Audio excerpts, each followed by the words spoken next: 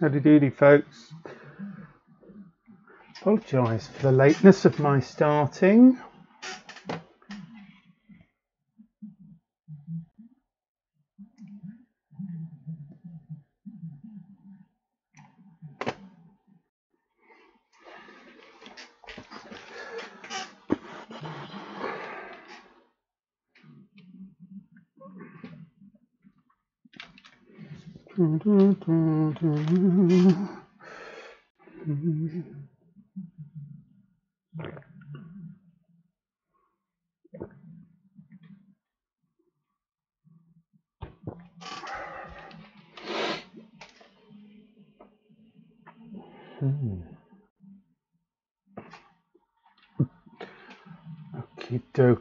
So, um, I did do a little list of things to talk about.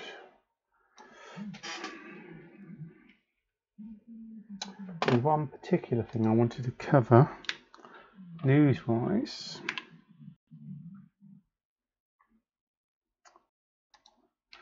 Um,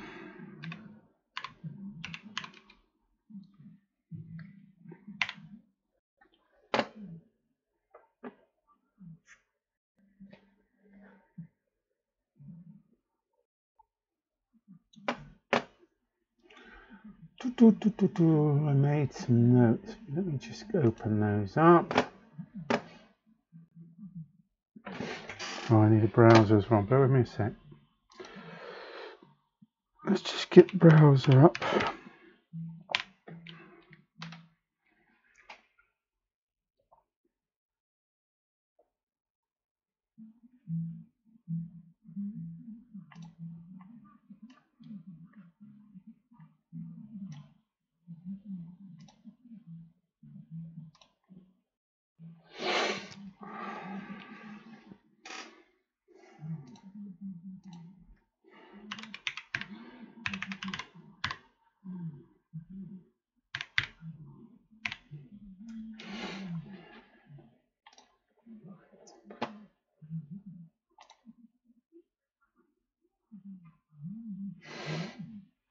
So, how's everyone been this week? Let me know who's here. Um, let me just double check.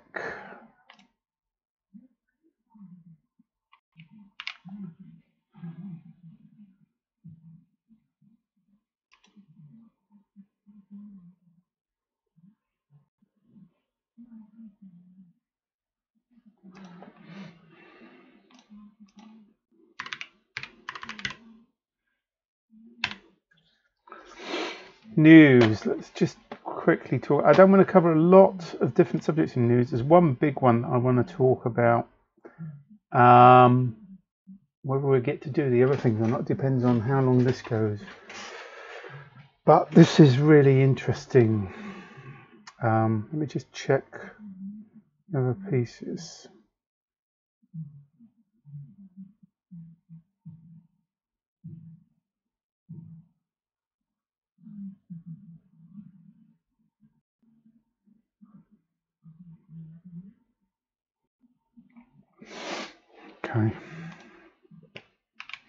Right, so what I'd like to talk about, I mean, there's a few things I want to cover about what I've been working on this week. I've got one particular, I've got a new um, product that I want to make, which is more application specific, which is interesting. Um, I've also got to deal with wireless communications. I've got a little bit of a conundrum with that, so I'd appreciate some feedback. But before we do that, so the community news, uh, let me just switch. Um, this is more generic news, but it's very interesting, um, partially because um, of some of the work I've done in the past. Let me just bring up my browser so we can see it.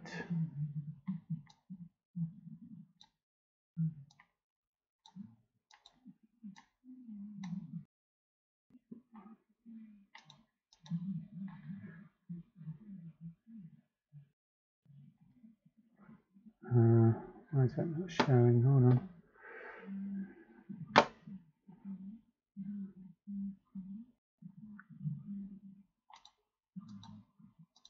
Oh, come on, pick it up.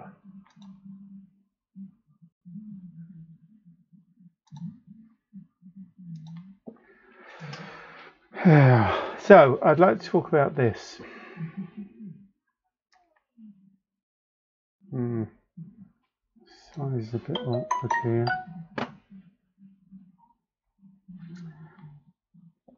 So, um, I think it was was it yesterday they announced this, or was it the day before? Raspberry Pi have announced um, a new product that's very interesting.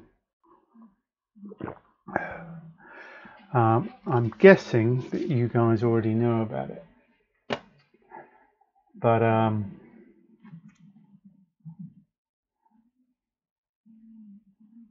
let's see. So I mean, the the new product they're talking about um, is called the Raspberry Pi Pico. Let me get a good picture of it up. Hold on, close up. There you go. So it's really um, hi Laurie, by the way. Um, it's actually very interesting from a couple of different points of view, and I'll get into that in a bit. Um, so basically, what they've announced is this this board here, um, the Raspberry Pi Pico, which is really a movement from where they've been. If you think about most of the Raspberry Pi stuff, that's centered around um, embedded Linux um, and Raspbian based around their the uh, Broadcom SoC. So this is a real departure from it um, because the Raspberry Pi Pico is really um, a microcontroller board. So if you think in terms of things like feather boards, Teensys, you know, Arduino Nanos, this is in that class, which is a very interesting um, interesting move, and there's a lot more to the move. I think that's which is why I'm interested, as well as what's on this board. Um, if anyone remembers the history, um, Eben, when he was originally designing boards, he was designing microcontroller-based boards, and he thought that that was the way that he was going to go.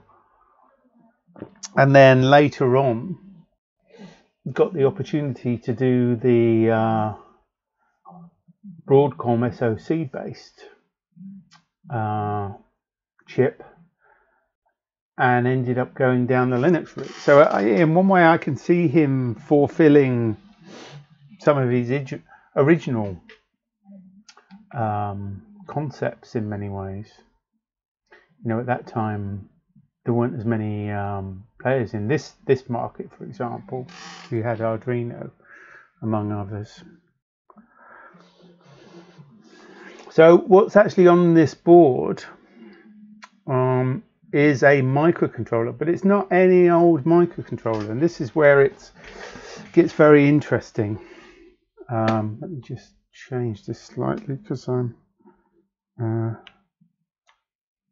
getting my head lopped off a tad. Um,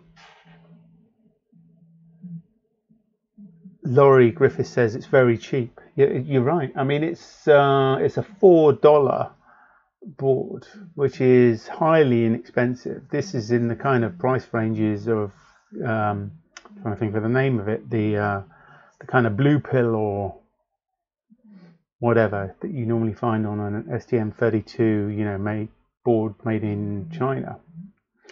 Um, in the UK, it's three pounds fifty, so it's exceptionally low cost. Um,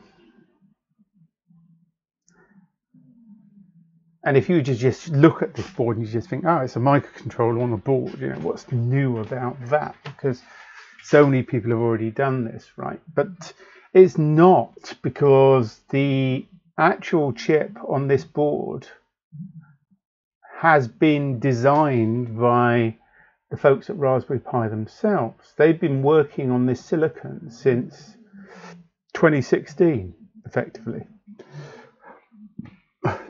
So this is the culmination of four years' work for them. Um, and I've been looking at some of the comments and feedback, and Eben's answered a number of questions around this. Um,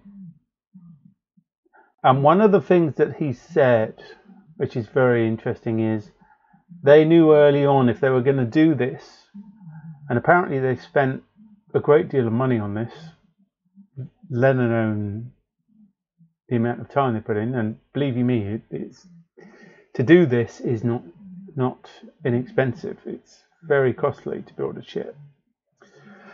Um, but they wanted to do something very different, and what they've got is quite different. And I, I want to talk about some of that because it's important. But point being is they haven't gone away, you know, and picked up an ARM STM32 or a microchip PIC or a, you know, an NXP or, you know, a Renesas microcontroller or something like that. You know, this is their own design. Um, very few organizations would go to that kind of effort. So in itself, it's extraordinary, and I think it's a very, very interesting and possibly a very smart move. Um, and Eben's point about if they were going to do this, they were going to have to do something different. Eben's fairly smart in the marketplace he's he's got a bit of cunning about him in terms of direction and stuff. Um, and he knows that in order to do this, they'd have to pull off something, you know, something quite different different from what everyone else is doing. Um, the Raspberry Pi organization themselves are in a very, very opportune position, I think. They have a very large um, community of developers. They've also got a very high volume. So when they come to produce something, they can leverage that volume that puts them in a very good position if they play, uh, you know, a canny game, to use a northern term. Uh, and I think this is a canny move. Um, if anyone else was to do this, you know, if someone like Google did it, it would probably fail miserably. Um, but with that group of developers, that community of developers, and the volume, that combination um, could really be a powerful combination if taken in the right direction. So, some of the things they're doing with this that I want to talk about today, um, from a hardware point of view, um, are very interesting for a number of reasons. And it's a great deal of interest to me because um, I've seen some of this and worked with some of this in the past before. However, very few people have been successful in moving certain dials, um, particularly in development. Development is very, very focused around some fairly narrow um, ways of organizing um, code and things. You know, whether that be languages like C, for example. You know, this is C in the embedded world is stuck in there like glue. You know, there's no way it's going away. Um, yes, we have the new the rise of Python in some of these areas, which is quite interesting. There's also Rust in the background as well. I'm not going to talk about Rust today, but uh, the Python stuff is definitely emergent and an important factor. So first off, let's let's just talk about the support. So they've got a complete software development kit for um, for this uh, for this board, the Pico board. Um, they have also included, um, before we talk about the hardware, they've also included MicroPython, which I think is super smart. Now, obviously, a lot of their, certainly their educational development uh, community is uses a lot of um, Python, as well as obviously C. Just bear with me a sec. I've just got to get rid of this dialog. Hold on. So um, putting MicroPython on there is a really good idea. Now putting MicroPython on any microcontroller is actually pretty tricky because there's certain things that you need um, and one of those is memory. Memory is a real problem because um, normally what it means is if you want to run MicroPython on a microcontroller, it's going to cost you a lot more than that microcontroller will normally be because you can only use the ones that have the larger amounts of memory. Because obviously when you're using Python, uh, the memory requirements are quite large in two areas. One is the code base. There's a lot of library stuff. Even though it's written in C and compiled, it still takes up a lot of room. So the base libraries you need are pretty big. So you normally need as a minimum, you know, 256K of ROM, flash, or RAM if you don't have any ROM. Then you need the runtime RAM, and that can get pretty big. Um, in Python, you've got a lot of strings and things like that. It's not the most efficient language. It does do some things in there's some clever stuff done in MicroPython to try and reduce down things like constant strings and stuff and the way that those are managed. But it still takes quite a lot of RAM compared to you know your normal C-type programming. Um, and, they, are supporting that out of the box. So if we start looking at some of these uh, specifications, um, they have 264 kilobytes of on-chip RAM, which is very generous. Um, and you kind of need as much as you can get when you're running MicroPython. They don't include any significant um, read-only memory. I think there's a small amount in, internally, but it's not useful. It's just basic bootloader stuff in there. The what they do is they expose quad SPI pins, which is basically clock, CS, and then uh, four data signals that enable you to connect in an external SPI flash chip, for example, to use for ROM. That way you get to choose how much you want. But obviously these are very low cost now, these flash chips. So hooking them in um, at a board level is a very economical way of doing it. And it gives you lots of flexibility, right? So that's pretty smart. Not only that, um, doing that on its own is not good enough. When you're using something external like QSPI flash or QSPI RAM, then you have to have a decent cache um, inside the processor because if you don't have that, you get a lot of repetitive accesses over the slower external QSPI bus. Having the cache there means it can look ahead and bring in the bits that it needs. Uh, so that's pretty important, and if that's done efficiently, then you can get fairly good performance from this external flash. by the way, they're also formatting that using UFS2 or whatever it is, which is this uh, partitioned format, which is a common bootloader format, which is really handy. So that's very clever of them to do that. Now, in terms of what they're using inside for processing, they've gone a rather strange route here.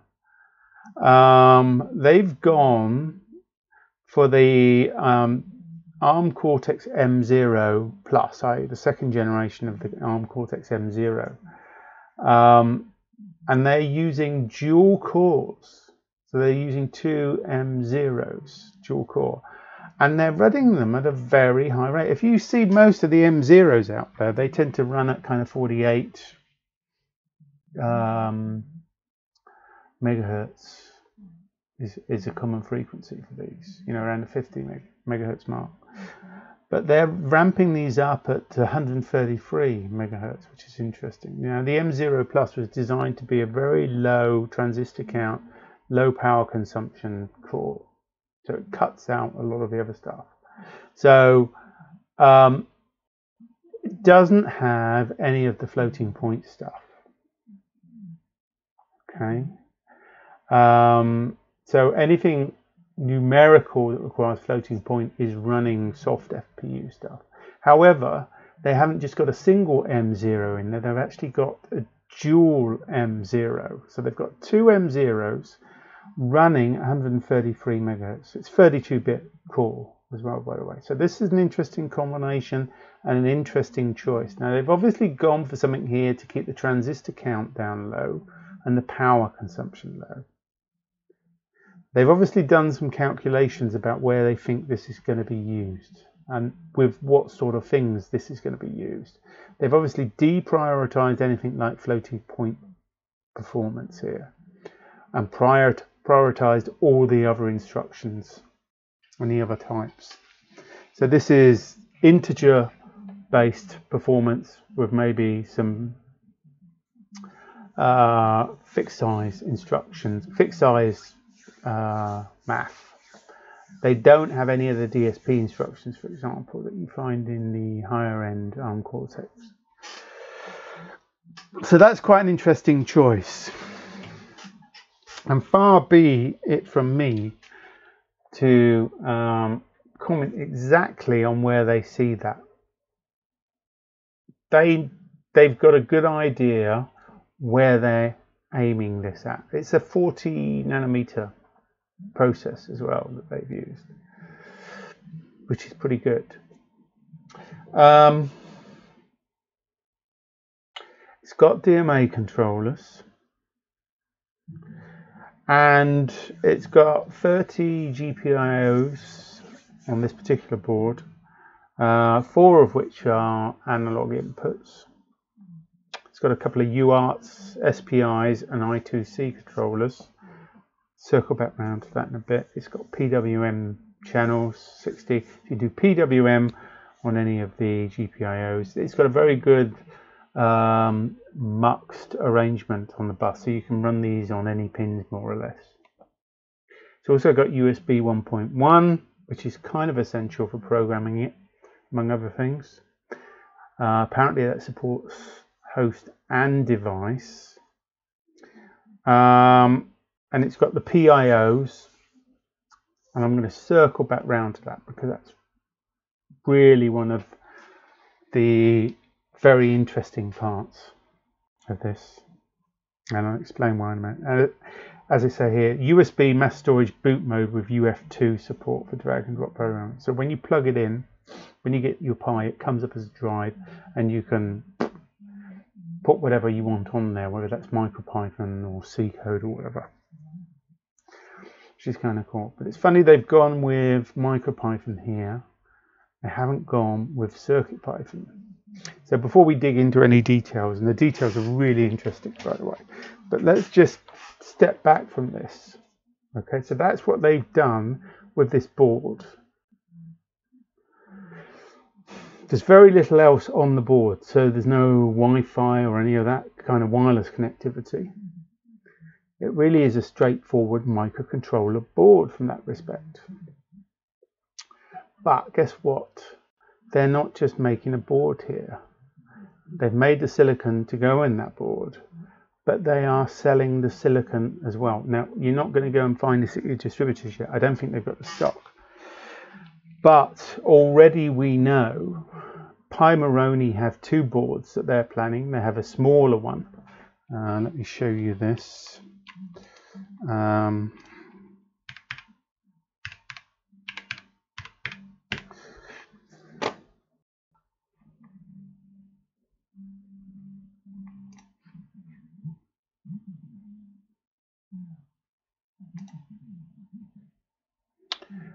There's two different things that they're working on here.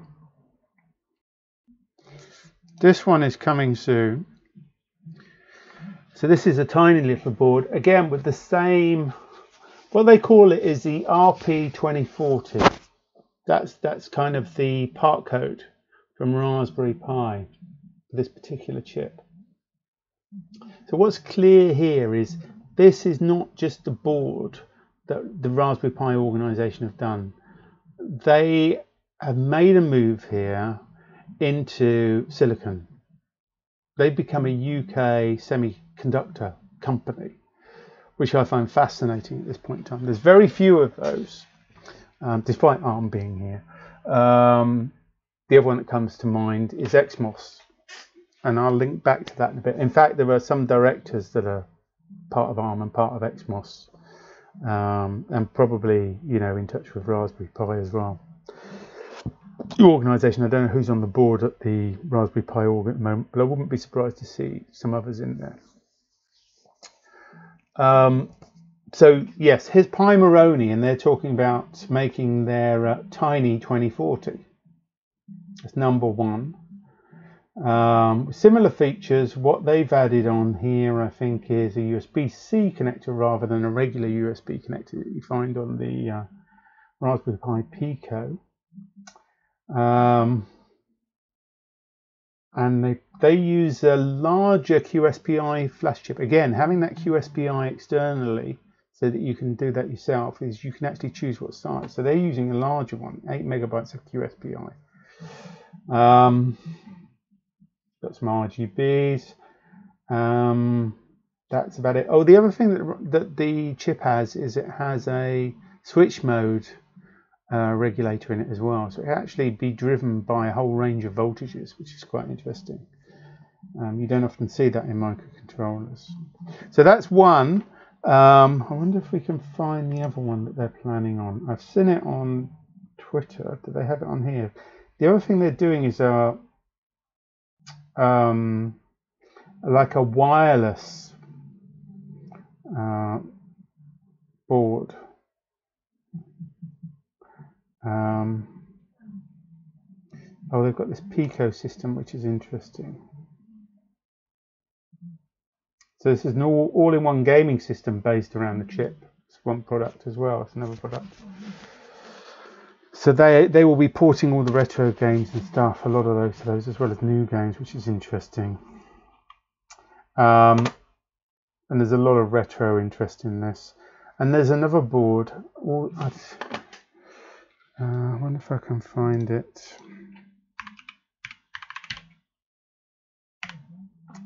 Uh, can I see?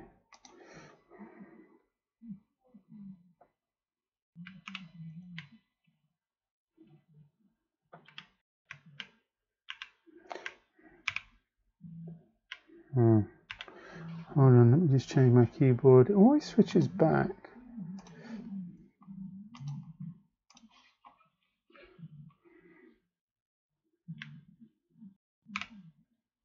Hmm. Come on.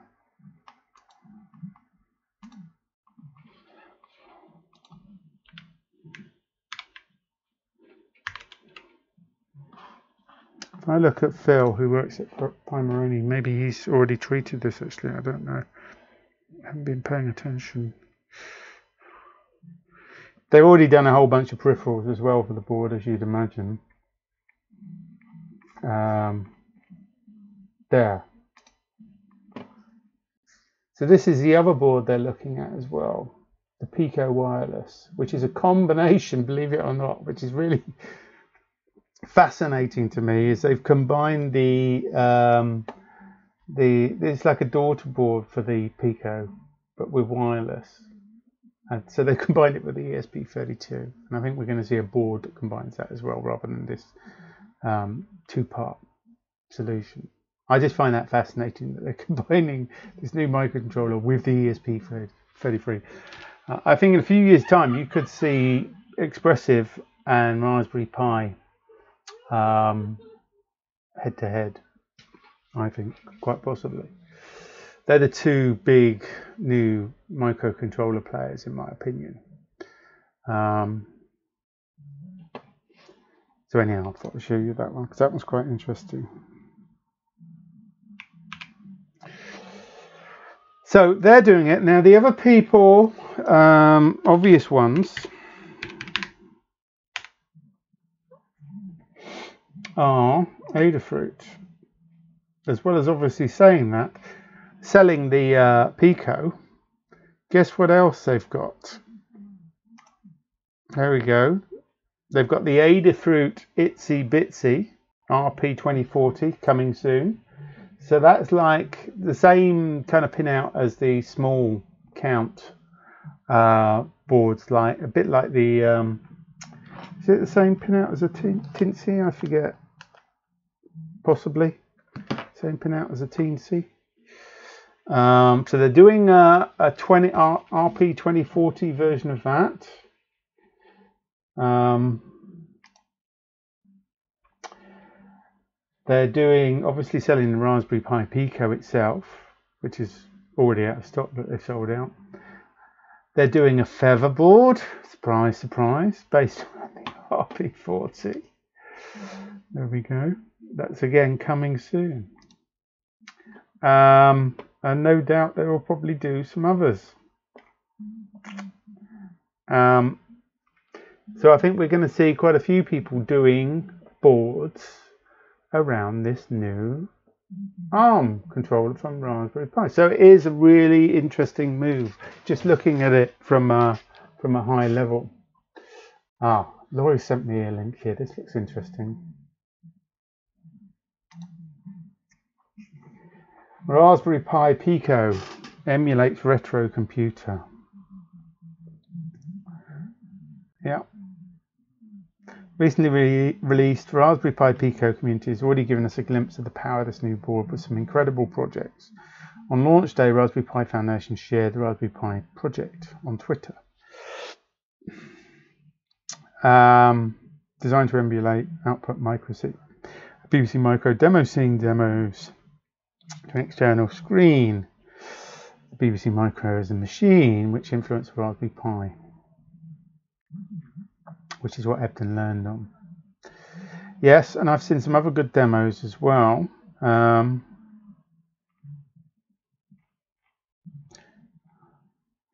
something good I saw earlier. Hold on.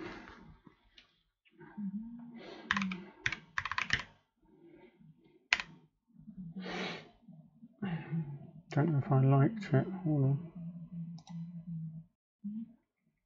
Damn it, it's not in my like list. Um, one minute, if I go to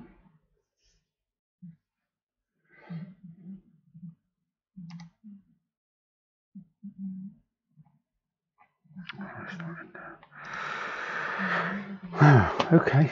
Um, who did this? Was it Luke? Let me. Um,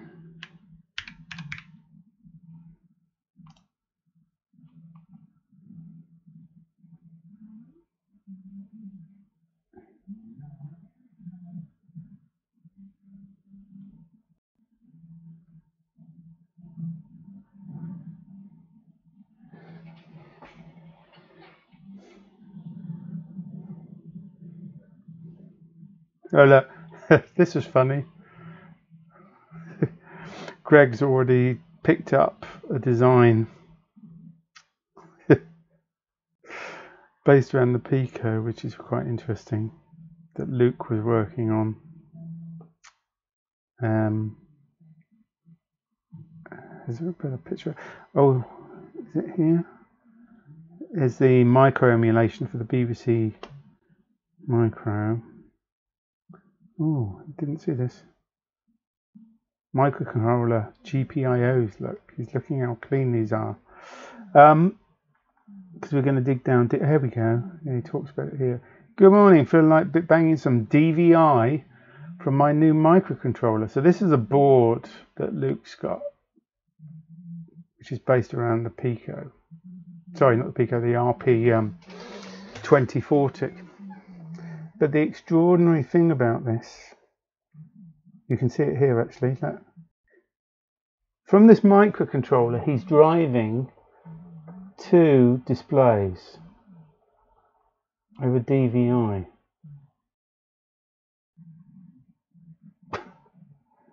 Pretty damn incredible, right?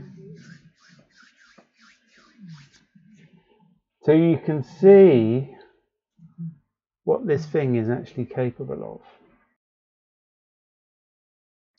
It's pretty astonishing.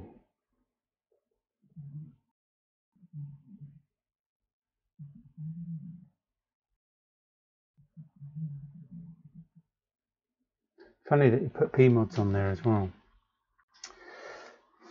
Very interesting. I had seen some of these tweets before from him. And I was wondering what he was talking about. But it was obviously just prior to doing this stuff, or and you know, being able to show this stuff. Pretty damn incredible, man.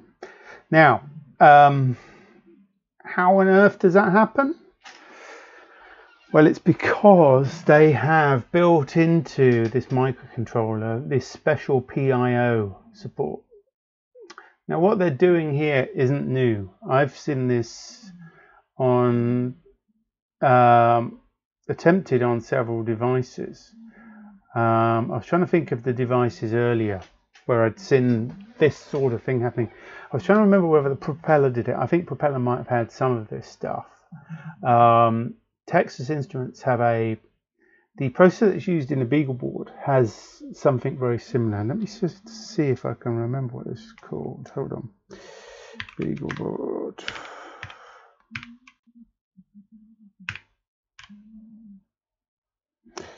Uh,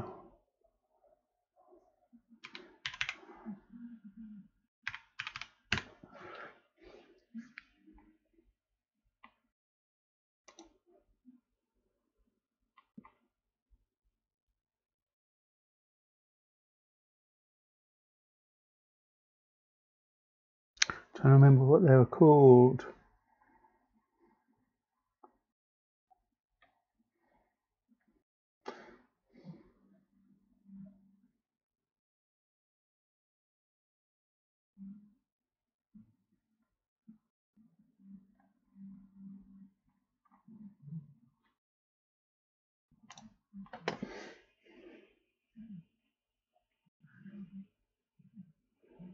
Mm.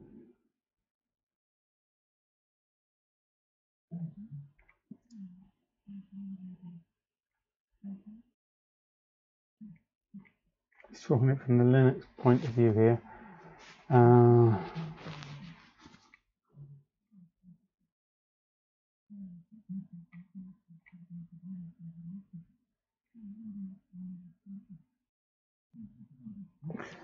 no, that's not the one. Hold on.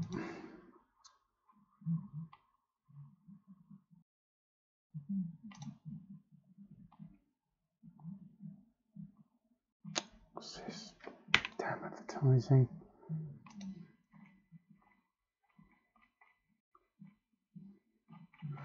No, no, I'm barking up the wrong tree here. Damn it.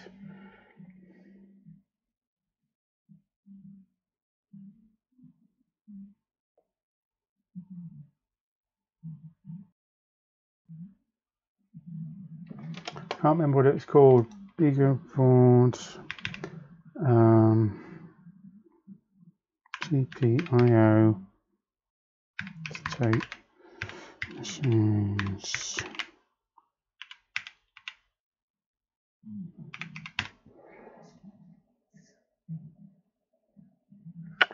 Uh, keeps going back to this.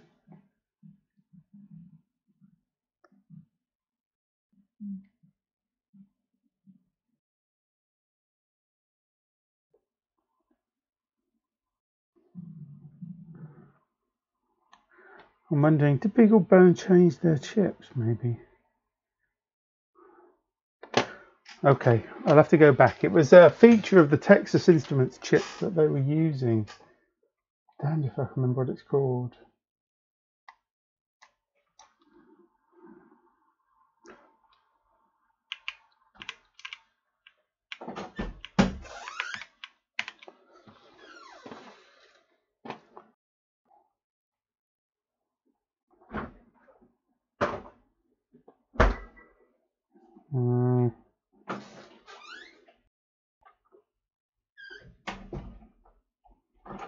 Damn it, I can't find it. I may have to come back. It's not hugely important. Um, was it PRI, PRO?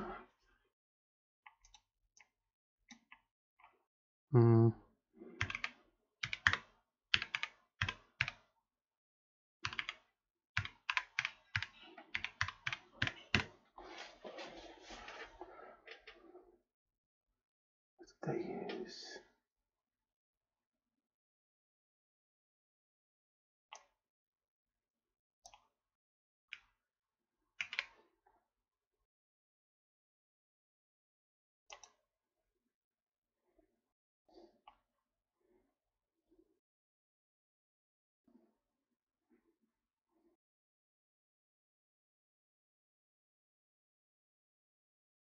PRU subsystem.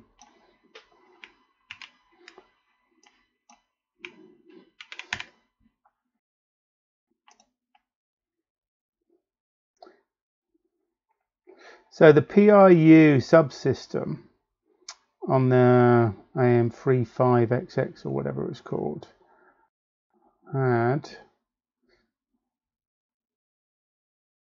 programmable real-time unit subsystem which was connected to the I.O. Um, so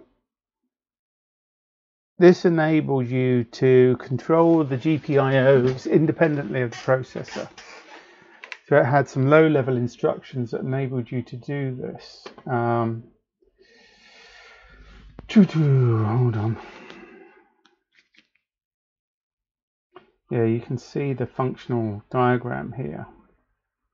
32 GPIO out or GPI in. Uh, very similar actually to what Raspberry um, Pi is using in, in, in terms of the numbers. They've got some register units and execution units and instruction RAMs as well um, as constant tables, etc. Uh, but these are a bit bigger. They had like 4K or 1K of instructions, specialist I/O instructions for the GPIOs, so they could run these independently of the actual processor system. As I said, you've seen this before uh, from other vendors. Um, I personally haven't done a lot of work with these ones. Look, you can see their simple instructions here. Um, basically, you, you, can send GPIO instructions to them. Um, it's like a small instruction set. So um, the ones I've worked on before was, was, which was slightly different, which was a more integrated system. Um, but I'll come back round to that again later.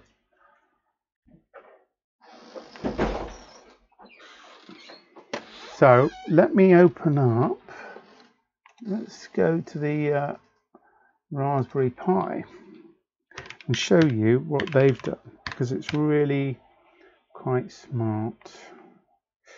Uh, doo -doo -doo Where's the link to on here.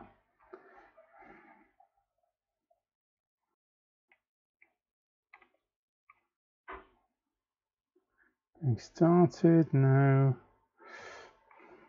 Oh, there was, yeah, I nearly forgot. The other people that have taken on this ARM chip are Arduino, and they've designed a nano board called the RP2040 Connect, which has Wi-Fi on it as well, or wireless on it. Um, oh, I didn't realise this. SparkFun, surprise, surprise, have done a board as well. So this thing's really out there. And of course, they've done a micro mod based on it. Um, where's the documentation for this? I had it open earlier. Let me open the data sheet. It's very interesting actually when you open this. Um, learn, talk about, learn. Mm, software, hardware. Documentation. Yeah, configuration, Raspberry Pi, hardware. Pico.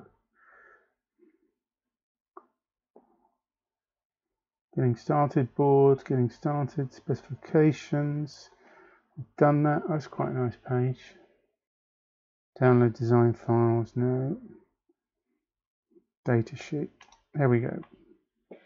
Sorry, should have been more prepared. I did have this open in the other browser, but I restarted my machine. So, let's have a look at the cool stuff, right? Let's have a look at the PIO. This is really interesting. It's a good shot too. Uh, the first thing you notice when going through this is they've really thought about this data sheet. This is not like your normal microcontroller datasheet.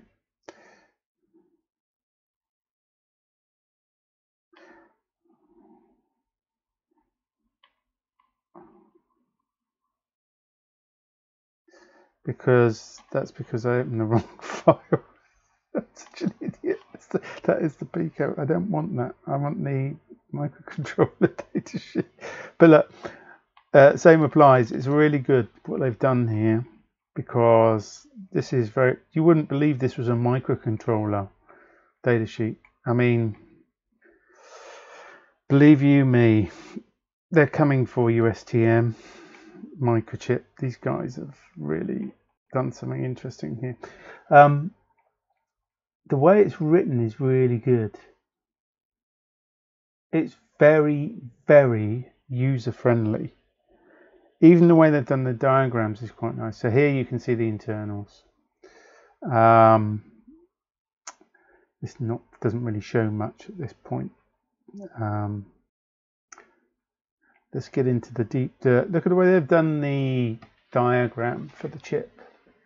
That is so user friendly compared to what you normally see from these um, microcontroller vendors. I mean, really, they've made such a big effort with this. Um, yeah, pinout charts. Let's let's jump to um, fact.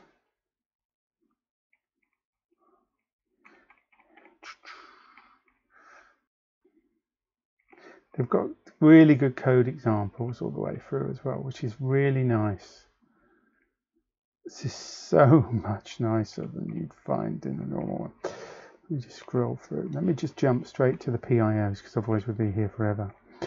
Because this is quite an interesting bit. Now, one of the things where uh, FPGAs have been finding some good usage is in taking offloading uh, work from microcontrollers, for example. I talk about this a lot. They've obviously thought about this and they thought about that trend. So here's an overview of the PIO blocks. How they're organizing. Very interesting. So they have a bunch of um, first in, first out um, um, buffers, FIFOs. Okay. Um, and I think what you're seeing in this picture is duplicated. So that's doubled on each side of the chip, if I remember rightly. And you've got four state machines here, which can control the GPIOs and you can have up to 32 uh, instructions like miniature it's like a they're like nano instructions. Rather than microcode, it's more like a nano code. It's a very small subset, and we'll, we'll, we'll see some of those in a minute. Laurie's quite funny here. So, are you replacing the STM32 with this on your board? Well, the answer is no, I'm not. Um, although I won't rule it out in the future. Um, good luck in getting hold of any of these chips. Um, Eben's already seems to be suggesting that they're not sure that they can get them made enough to supply the demand that they already have for other people, let alone for their own board sales. So, yeah, they're going to go through a long curve with this. I mean, possibly it might be good to combine this with an FPGA. I can see some areas where that might be very um, interesting. Maybe we can come back round to that at the end. So anyhow, just going back to what they've got in here. Um, this arrangement is very interesting. So what they're aiming at here is so they want to be able to offload, um, you know, relatively simple protocol I/O protocols, so that that isn't running. So rather than having individual peripherals, this is the common way where it's done.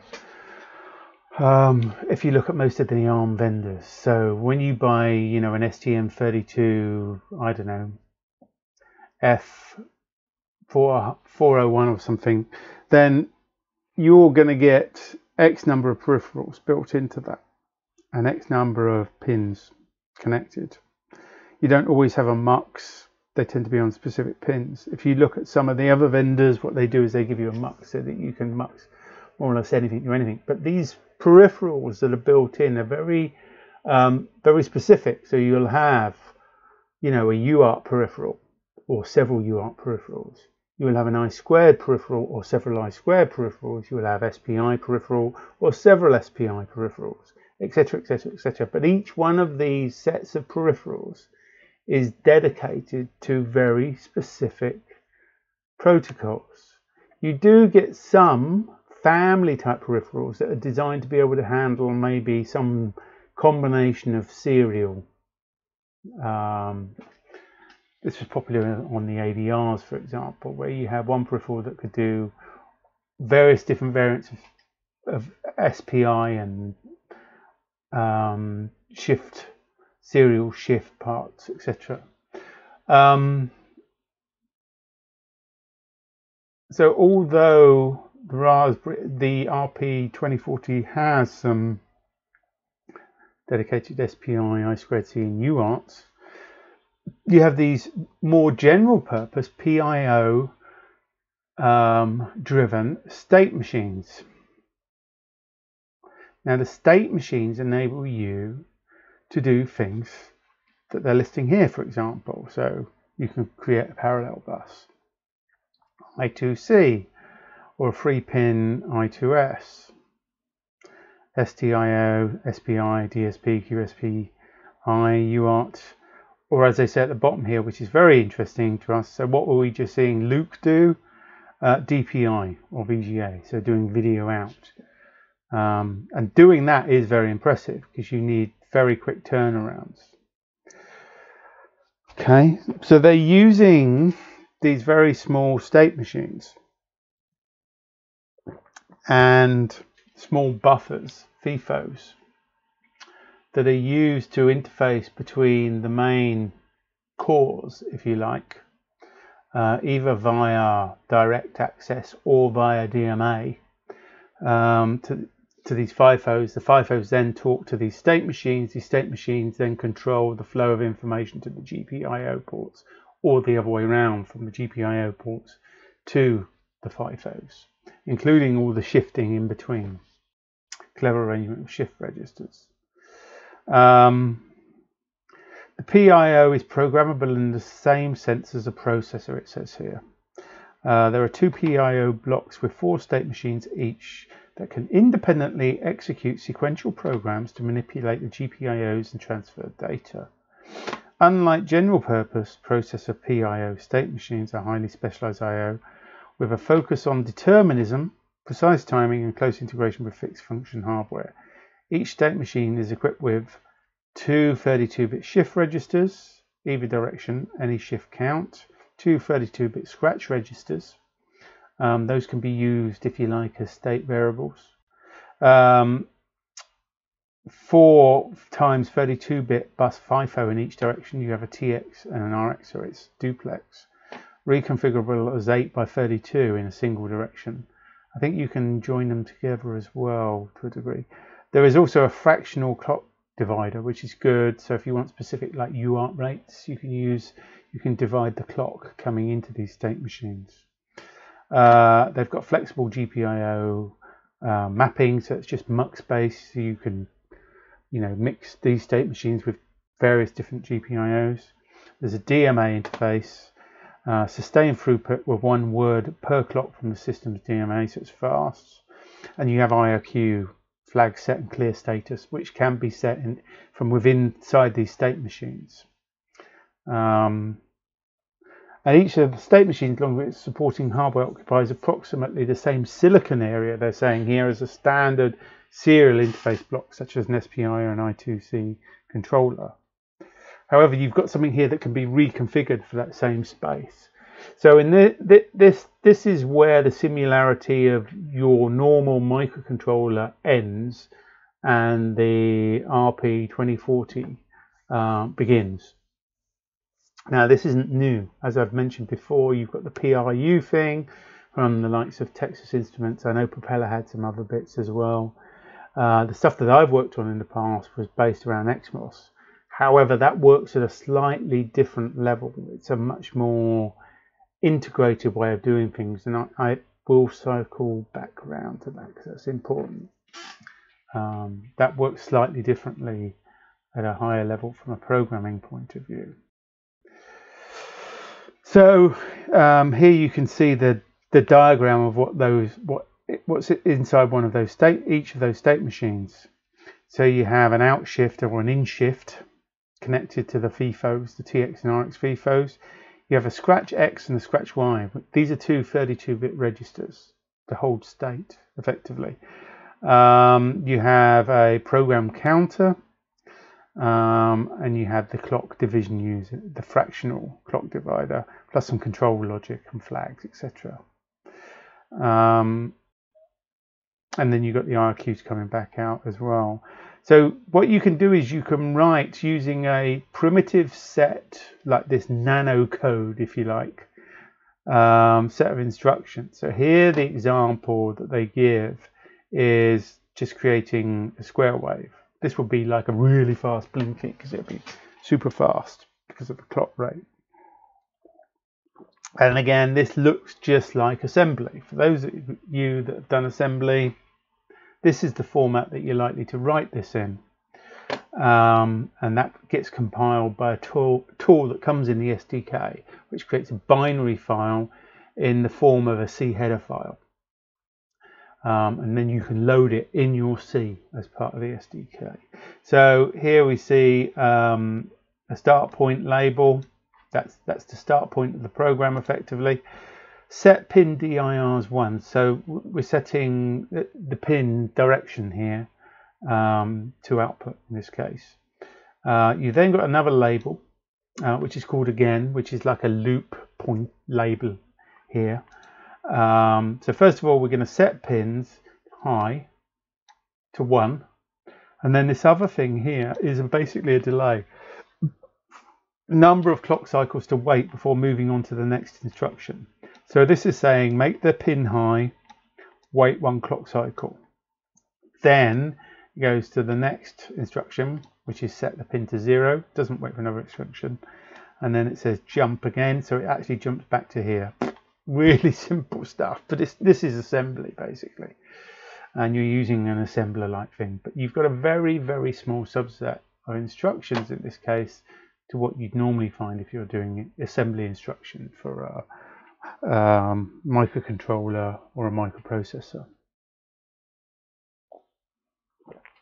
Um, the tool that they use is called, um, I don't know if it's POASM or PIOASM, but it's P-I-O-A-S-M. Okay. Uh, the next sample here shows some uh, talk about control flow. Uh, uh, they're just talking through this, aren't they? What's the difference?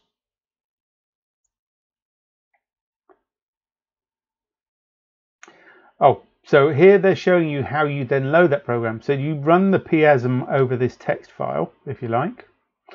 It would then create another C header file that you include, and you can then run that quite simply in your C code in the SDK just by basically copying the contents of that into the memory location for the instruction store of that state machine. So it's very, very simple. So it just goes through all of the instructions and it copies them into the instruction memory here.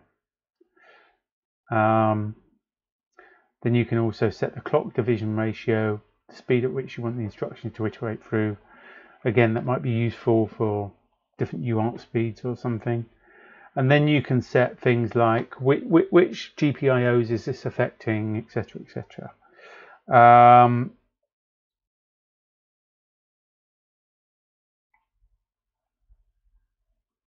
here it shows you the detail of how they're dealing with the shifting the information in from the program, uh, from a DMA, for example, or whatever.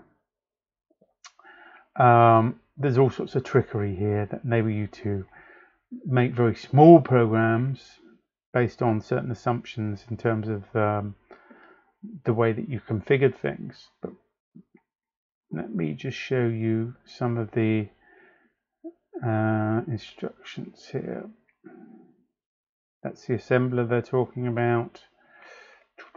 But if you look at the instructions, there should be a table here. So here's the um, how simple the instructions are. You've got a jump instruction, a wait instruction, uh, in and out, and then you've got all of these operands that come for the different instructions here. So on the jump, you've obviously got a condition, you know, like jump on non-zero or zero, um, where you're going to jump to, um, the included delay, or a side set, which we can talk about. Um, it's got a wait instruction, and then the other ones are things like push and pull. So when you issue the push instruction, you're actually pulling off, uh, sorry, push instruction, you're pushing to the uh, RX FIFO, and then the pull is pulling from the TX FIFO. Um, You've also got a move, which is quite useful. What was the move useful for? Uh, I can't remember off the top of my head. I think it's moving the state from one GPIO to the other, for example, or moving it into a register, possibly. Um, IRQ controls and setting of registers. So it's a tiny instruction set very small. Um, so this whole thing is very interesting in that what it enables you to do um, is not just assemble a program that then controls those GPIO pins to handle, say, a protocol. Maybe say you were going to do talk to, you know, one of their WS um, LEDs. This example here talks about that. Let me just go back. Yeah, so talking about a WS2812 LED driver, there's a good example here. It's very simple. So once you've got that protocol, well, that's just a library call, right? But not only that, you can change things dynamically. So you can write to the instruction store and change instructions as you're going along, or pass in parameters to that FIFO mixed with your data so that it can operate on those parameters or change what it's doing dynamically. So for more complex, you know, if you have a much more complex protocol with changes in the state sequences, then you can dynamically control those from your C code as well. So that I think it's it's very very powerful um, system. Now, as I've said before, other people have gone down this kind of route, but normally it's resulted in a very small or narrow community and it's not really taken off outside. However, this is Raspberry Pi organization that we're talking about here. They have a massive community. Um, and it's quite well structured in the way that things get broken down. Now, not everybody is going to be going in there and writing, you know, the PIO code. It will be a relatively small number of people in that community that do this to handle all of the different protocols you can think of and all the hard bits that other people can't do. And a lot of this stuff will just end up being included in the libraries and the SDKs. But there will be a high usage because of the size of the community and a higher desire for people to get involved and come in and solve those problems. So there's a good chance that this could succeed. So from that point of view, it's very interesting and they certainly are doing something that is different here. Um, I won't say it's the first time anyone's done this because, uh, as I've pointed out before, other folks have tried, um, and many of them wouldn't say failed, but have been slightly less successful. you know, this hasn't been a generic thing. If you look at what's out there in the microcontroller world, very few of them have been brave enough to go down this route um, because it's gotten very little traction in the past. So, but it's very, very interesting, and I'm fascinated by this because this is one of the things that I'm I've worked on in the past and stuff is how to build in distributed uh, processing into real-time systems in particular. It's a very useful thing to be able to do because it enables you to solve a whole bunch of problems. However, I'd say that the way that Raspberry Pi has come in to solve this problem, they've done it certainly at a functional level. From a hardware point of view, it looks pretty good. From the software point of view, I think it's lacking slightly. Um, they could change that to a degree moving forward. I don't know how much they built in that enables them to take this further.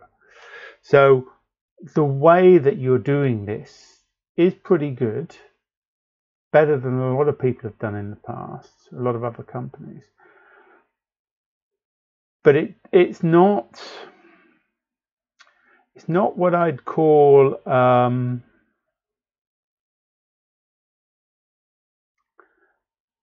a kind of um,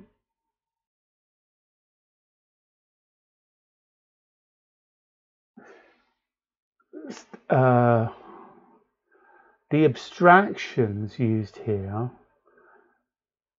are different from the abstractions used on the cores and there is an impedance mismatch here. And they haven't taken the kind of bigger view how to solve that. Let me put it this way. Um, I'm not sure if you're aware of it. I, I, one of the things that I did a lot of commercial work on, as well as some open source work on, before was with uh, organisations like um, XMOS. For those of you who don't know XMOS are, they're another UK chip company um, they build multi-core microcontrollers and have been doing it for years. Um, but they, the way that they design their hardware is to move a lot of the load into software. Um, but their microcontrollers were running at much higher speed than the other microcontrollers out there because they were concurrent there were layers of concurrency in there. But they took um, a more global abstraction all the way down. In fact, um, unsurprisingly, the company was started by a student of David May and David May. And David May, if you know your compute history, um, was the guy that designed the transputer um, and uh, things like Occam. Now, his view on the way that you did concurrency, um, and particularly real-time concurrency, um, was using um, what's called um, CSP. Um, it's not concurrency sequential processing. It's oh, I always get this wrong. Communicating sequential processes. That's what it stands for. And it's a mathematically safe way of doing concurrency. Um, stops you making all the silly mistakes that you make if you just try to write C on um, using you know standard C's and threads and things like that. You you hit all of the big issues around race conditions, etc., that kind of thing. Um, by using CSP, you, you, can avoid a lot of that. Um, and CSP was developed, I think, in the 70s or 80s by Hoare, um, who was was he at Cambridge? Can't remember. Computer science genius um, came up with this and mathematically proved the idea of um, CSP. So the work that um, they've made it was translating that into um, Occam, which was the language that was used to program the transputers. But this was a double-edged sword. On one hand, it's what made the transputer fail because nobody knew how to program in Occam and everyone was doing wanted to do things in C, um, despite the power that Occam provided. The um, other implementation you may have heard of that's more modern is a thing called Go from Google, um, written by Pike. Now, Pike has been involved in a number of languages before Go, uh, many of which had CSP at their heart. Um, one quite interesting one was um, a lot of people don't know about was um, this one, um, Limbo. Was another piece of work that Pike was um, involved with. Uh, and this ran on Plan 9 and Inferno, um, strangely enough. And if you want to know about that stuff, do talk to Robert Miller on our on our forums because he was instrumental as well in writing a lot of code and still writes code for for those platforms. It's a very interesting platform, but again based on uh, CSP principles in many ways. But Go is probably the most recent language to use um, CSP as its construct and abstractions. Laurie's just uh, telling me I attended a talk on CSP by Tony Hoare a long time ago. I still have his book. Cool. I'd never seen him speak.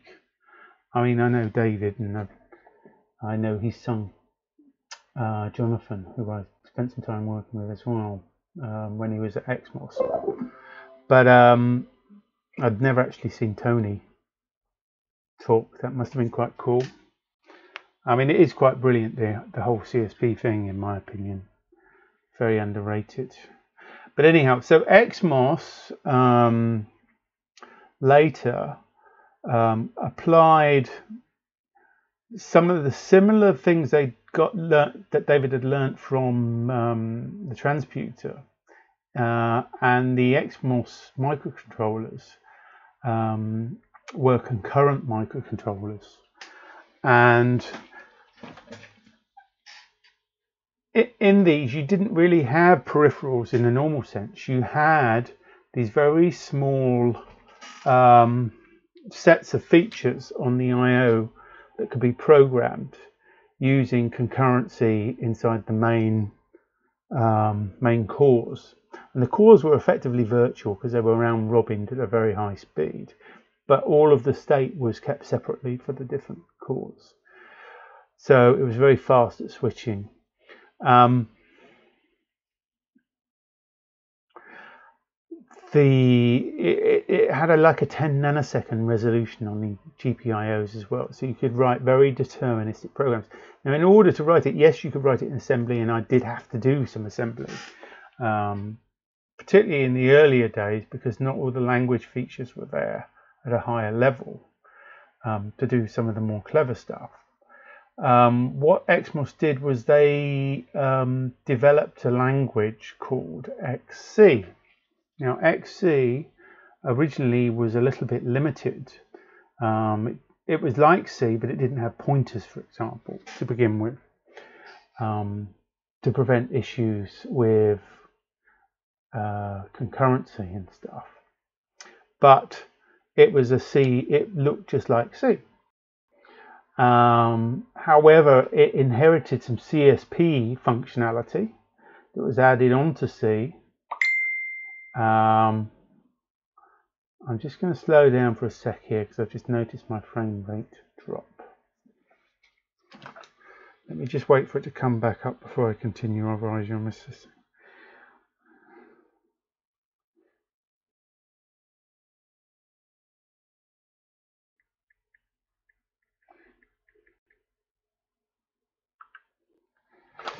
Oh, we're back up. Good. So yeah, I just paused myself there because I didn't want to lose the um, my audience, you guys. So um, where was I? So XC was a language that introduced, um, as well as the normal C functions, um, it introduced the concurrency parts. Um, in fact, it used something called a select, which was a key part. Um, in Occam, it was Alt.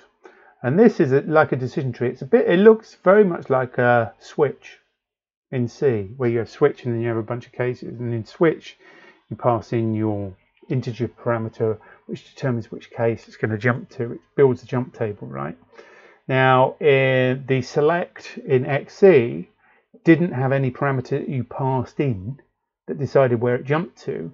It basically uh, was like a wait instruction, waiting for a hardware event.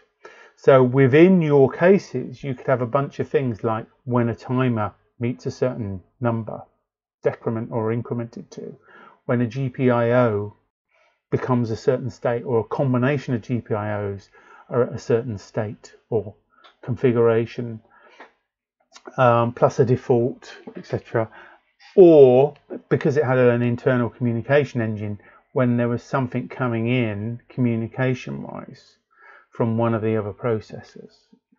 Um, so the you had this fork join concurrency um, that could be done at real time, you know, 10 nanosecond resolution, basically moving through programs. So rather than programming using interrupts, and it did have interrupts as well, by the way, but you didn't really use those much because they were structurally very difficult to use compared to using uh, this CSP, low-level event processing hardware. And it was very responsive. So you actually, rather than having peripherals in the chip, you didn't do that. All your peripherals were software. So if you wanted a UART, there was a library and you could use the UART, or you could create your own. Same for SPI, same for anything else that you wrote. And it's because it was fast, it could do this. And it was a pleasure to write concurrent real-time programs on this. So much easier than interrupt And I built, you know, a number of commercial projects uh, based on this that were, know, so much better and so much easier to build tests and, you know, um, not guarantee, but um, prove than the normal interrupt driven programs where latencies and overlaying priorities and that kind of thing cause havoc. Um, So they took a very top level approach, and later on they brought in the rest of the C function, so you had pointers and things as well. But they had structured pointers that prevented you getting yourself in these race conditions and stuff. It's all very clever, very smart. I love programming in um, in XC. It was a joy to program in to solve real world problems, real time problems. So that's a slight difference between this and what Raspberry Pi are doing. So Raspberry Pi are just going with traditional C, and then you've got this bespoke I/O assembly language. So you need to have two hats in order to do this. And joining the two up, although the SDK makes it easier, you're still dealing with impedance mismatch in terms of abstractions and things. Um, so what I don't know is are they looking at doing something at a higher level abstraction later that solves this issue? And it will be interesting to see on that front. It also is very interesting from the point of view of some other things um, that I'm working on as well and have been working on for a while. You just check my messages. Someone keeps sending me messages. I think it's my daughter.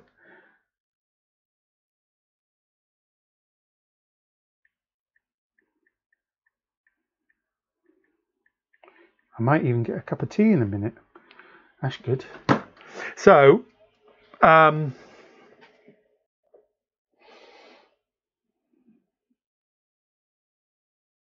I'm going to segue onto the test rig stuff in a minute. But before I segue into that, and the segue is, you know, adjoined to this. Um, is there anything particular? I mean, we may come back round to this anyhow. Is there anything particular on the um, uh, RP2040 or the Raspberry Pi Pico board, or any of the boards out there, that um, you want to make any points about, or you want to ask me anything about from my limited knowledge? I mean, literally, I only found out about it yesterday, so you know, late yesterday, like yesterday evening. So I haven't had much chance to look at all the details. Um, so if you've got anything that you want to do before I move on to the um, test rig stuff. I mean, I will say I'm excited by this generally, you're thinking of your ideas. I think, as I say before, I think Raspberry Pi org have a really good community. So they stand a chance of probably having success, some success here better than anyone that's done any of this stuff before. Um, and that could really change things. I think if I was a microcontroller manufacturer right now, just straighten my monitor up. Um, if I had any sense, I'd be looking very carefully at what they've done. Because you know, raspberrypi.org could change the direction here of the industry. Um, if you think of the impact they've had on the embedded industry, I mean, we're not talking about them wiping the embedded industry out, because that's not what happens, but they have made a major influence and they do have a very large volume already. And if they can replicate that in the microcontroller world, then it will be very significant, I think. Do you think this will be used in commercial applications? It's a good question, Laurie. Um, not initially, no, because it's very early. But, you know, a lot of people have said to me in the past, uh, certainly since when it came out, do you want me to open that? Hold on. Yeah, Are you making tea? I am streaming, but it's alright. I've told them that you might make me tea. so, um, I remember when people used to and oh, Raspberry Pis aren't going to be used in industry, they're only toys, it's for education, blah, blah, blah.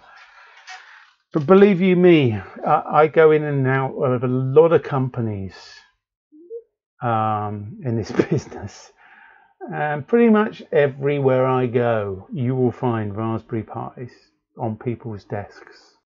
You know, uh, sometimes the you know the older embedded engineers will be like, oh no, I don't really use this. I just playing with it.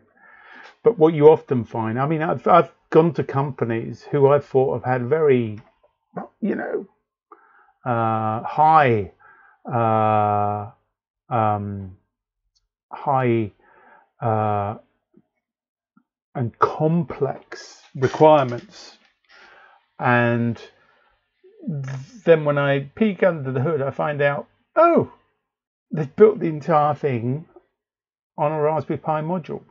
And before that, they built it on a Raspberry Pi. So um, the impact is already there for Raspberry Pi. I mean, the stuff's everywhere. More so than Arduino, I think, in industry um, what they did with, you know, for the embedded Linux, if you like, is um, has been very influential in many ways.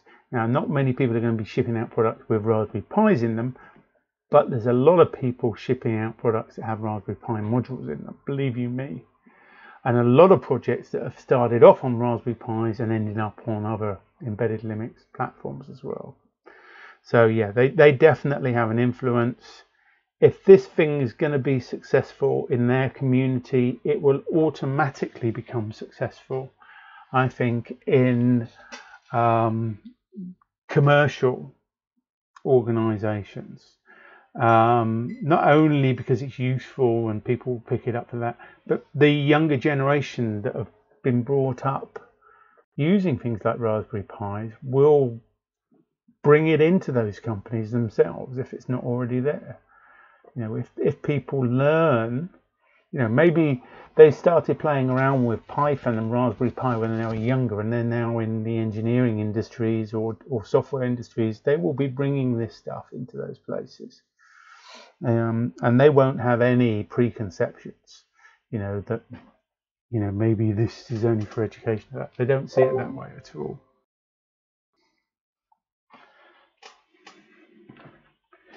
So uh, I think the answer to that question is almost definitely, assuming it's going to be successful in the first place, of course. Oh, my tea's coming. This is good. Um, I don't know how long that will take to infiltrate, you know, commercial organizations, but anyone already using Raspberry Pis, and there are lots of them out there, will probably take a peek, guaranteed. Will they be doing this? Yes, probably. Now, the other thing that's going to make a difference is if this is successful, then Raspberry Pi isn't just going to be cranking out lots of these small Pico boards. They're going to be cranking out an incredible number of these ARM controllers.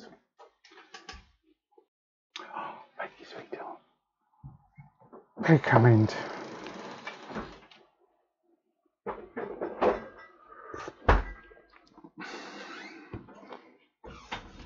That's good. I now have tea. Keep me going. So um, it will work its way into those uh, companies anyhow. And I don't know what the price of these chips are. I think they're going to be more than just competitive. I think they will be well priced but because of the kind of uniqueness of what they offer, they will give some of the others a run for their money.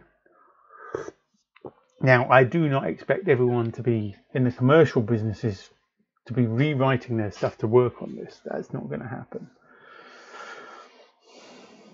But for new projects, they may start considering this. And then you've got all of the community thinking, oh, I can make something from this, and then all sorts of new commercial opportunities occurring as well.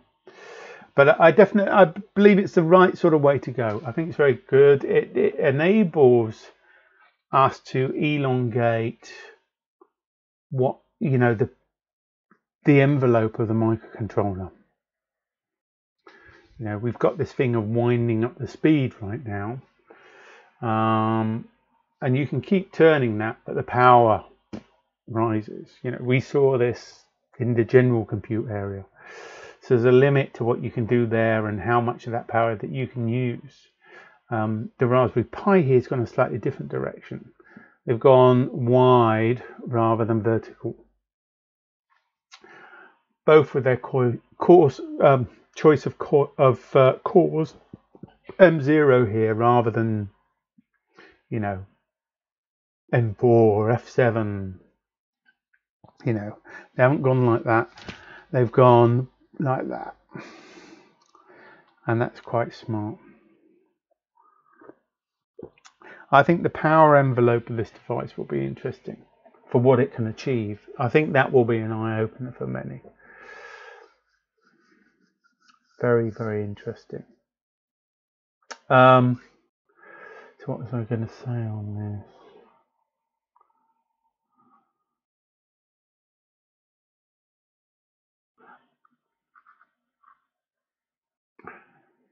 It'd be interesting to see how many people put this chip in their boards. At the moment, it's just development boards. But this chip could make a big difference in a whole bunch of applications. The only thing that I think it's really missing is wireless. But they could probably buy the IP in to add that. I mean, they could do it externally to start with. But yeah, I think also um, I remember when I was reading through the Twitter um, comments about this yesterday. Uh, someone said, "Oh, why have they put an ARM in there? Why have they gone for an ARM core? Why didn't they go RISC-V?"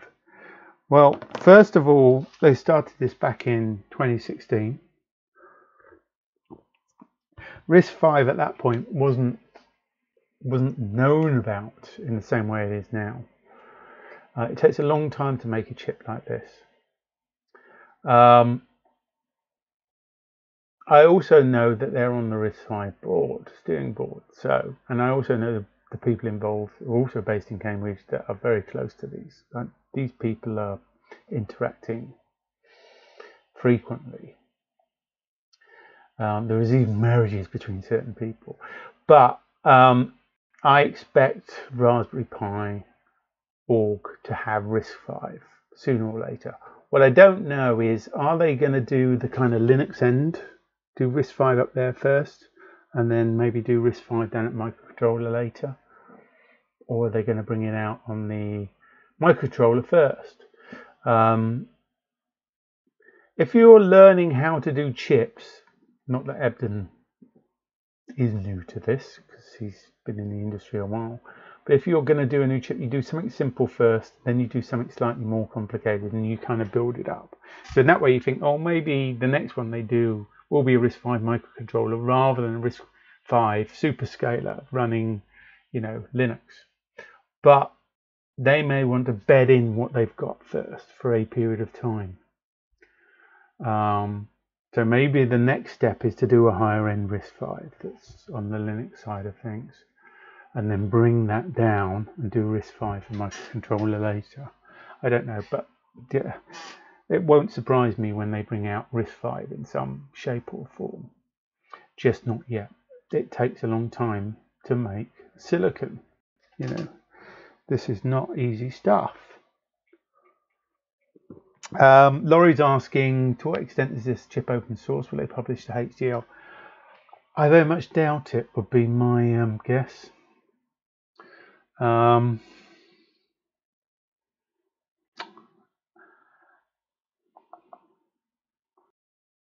I think it's unlikely. And you need more than the HDL to produce the chip anyhow. Uh, this is all about process secrets and stuff. If you look at making chips, there's a whole bunch of geometries and things and characteristics that are secret that are all under NDA by the fabrication house that you can't, you know, let out anyhow. That's the way that this industry works. HDL would be a start, possibly, yeah. Um, one thing I did think would be a fun project is to reproduce the PIO in in uh, HDL or nMigen. And I was thinking about maybe doing that and having a play around. I'm still thinking about that. Um, the reason for me thinking maybe is that I already have something else that's more, I won't say XMOS like, although I did work on something XMOS like um, with Jonathan a, a, number of years ago. But um, I have slightly different ideas, let's say. But it would still be an interesting exercise, if nothing else. In fact, whilst I was reading the data sheet today, I couldn't help thinking, um, you know, as I was going through it, how I'd implement that in HDL. You just can't help yourself. Um, it would be easier if they published a HDL for it, uh, Laurie. I don't think they would. But you can you could easily work out what to do. It, it's really that these units, these PIO units and the state machines are so simple.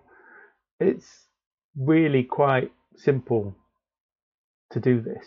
It's and just read through that data sheet. Everything you need to know is there. Um, the more difficult bit comes in how you control that and link it into whatever you're doing.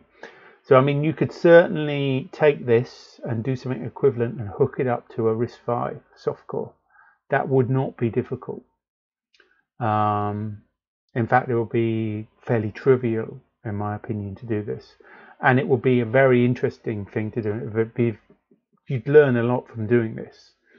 Um, I'd be very interested in looking at that um, as a possible way forward. You could certainly you could re recreate instructor. I'm not sure whether there's a grey area here, whether they have anything um, tied down in terms of. Um, I don't know if they've done any patents for this. I don't know if they've done any trademarking. You know, you'd have to look carefully at um, at what you're doing there, just in case you you know you don't want to be standing on um, standing on their um, IP in some way.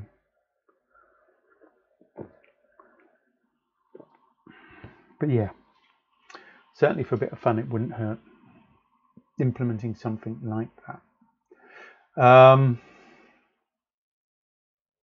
I'd also be very interested to know where they got some of their inspiration from. I'm sure they will have looked at some of the um, ones that I'm familiar with that are out there and got some inspiration. There's also some of it that's not yet implemented. Wouldn't surprise me if there's some dead silicon in there that's just not being used right now. Either because it doesn't quite do what they want it to, or that they haven't quite worked out how they want to use that.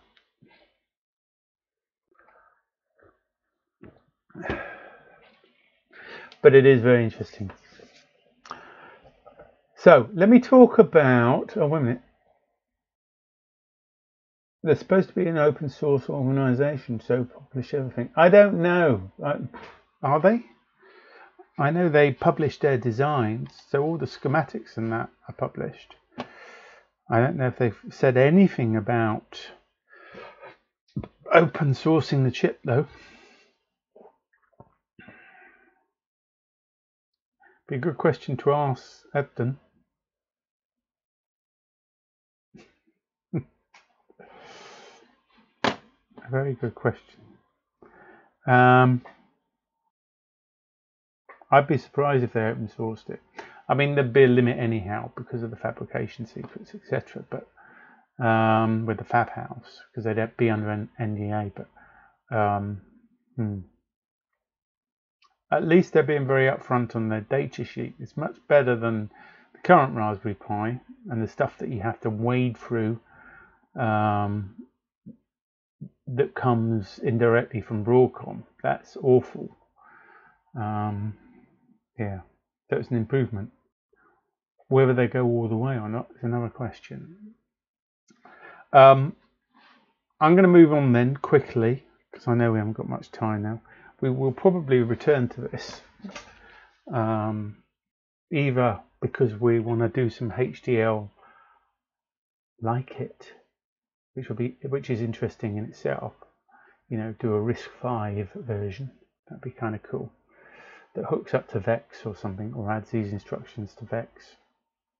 Um, I mean, you don't need to change the core, you know, of Vex at all in order to support this. You just got to add something to your bus that enables you to do the DMAing and register access, basically, on the bus.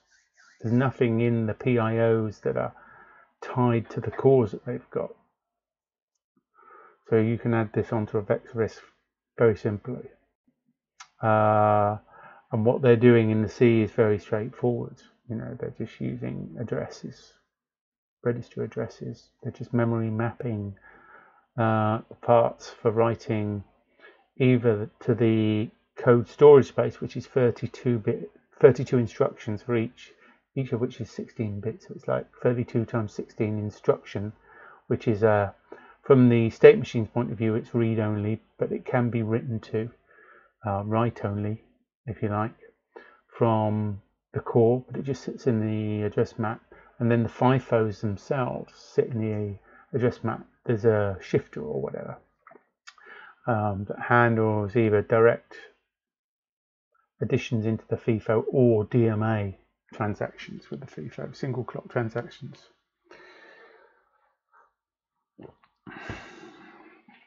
So it's infinitely possible.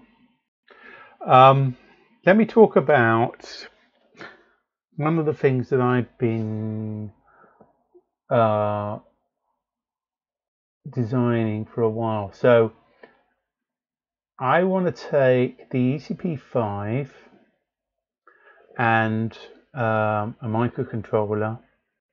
This is probably going to look a lot like the um, innards of a black stack uh, module, i.e. the processor module, the core module. So uh, basically ECP5 combined with a microcontroller.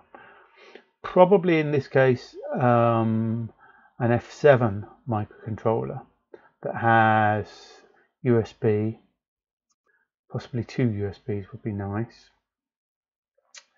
Um, it will have the same memory architecture as um, as the amalgam board, if you like, the core board. The, but it will have a lot more IOs on the microcontroller and a lot more ADCs.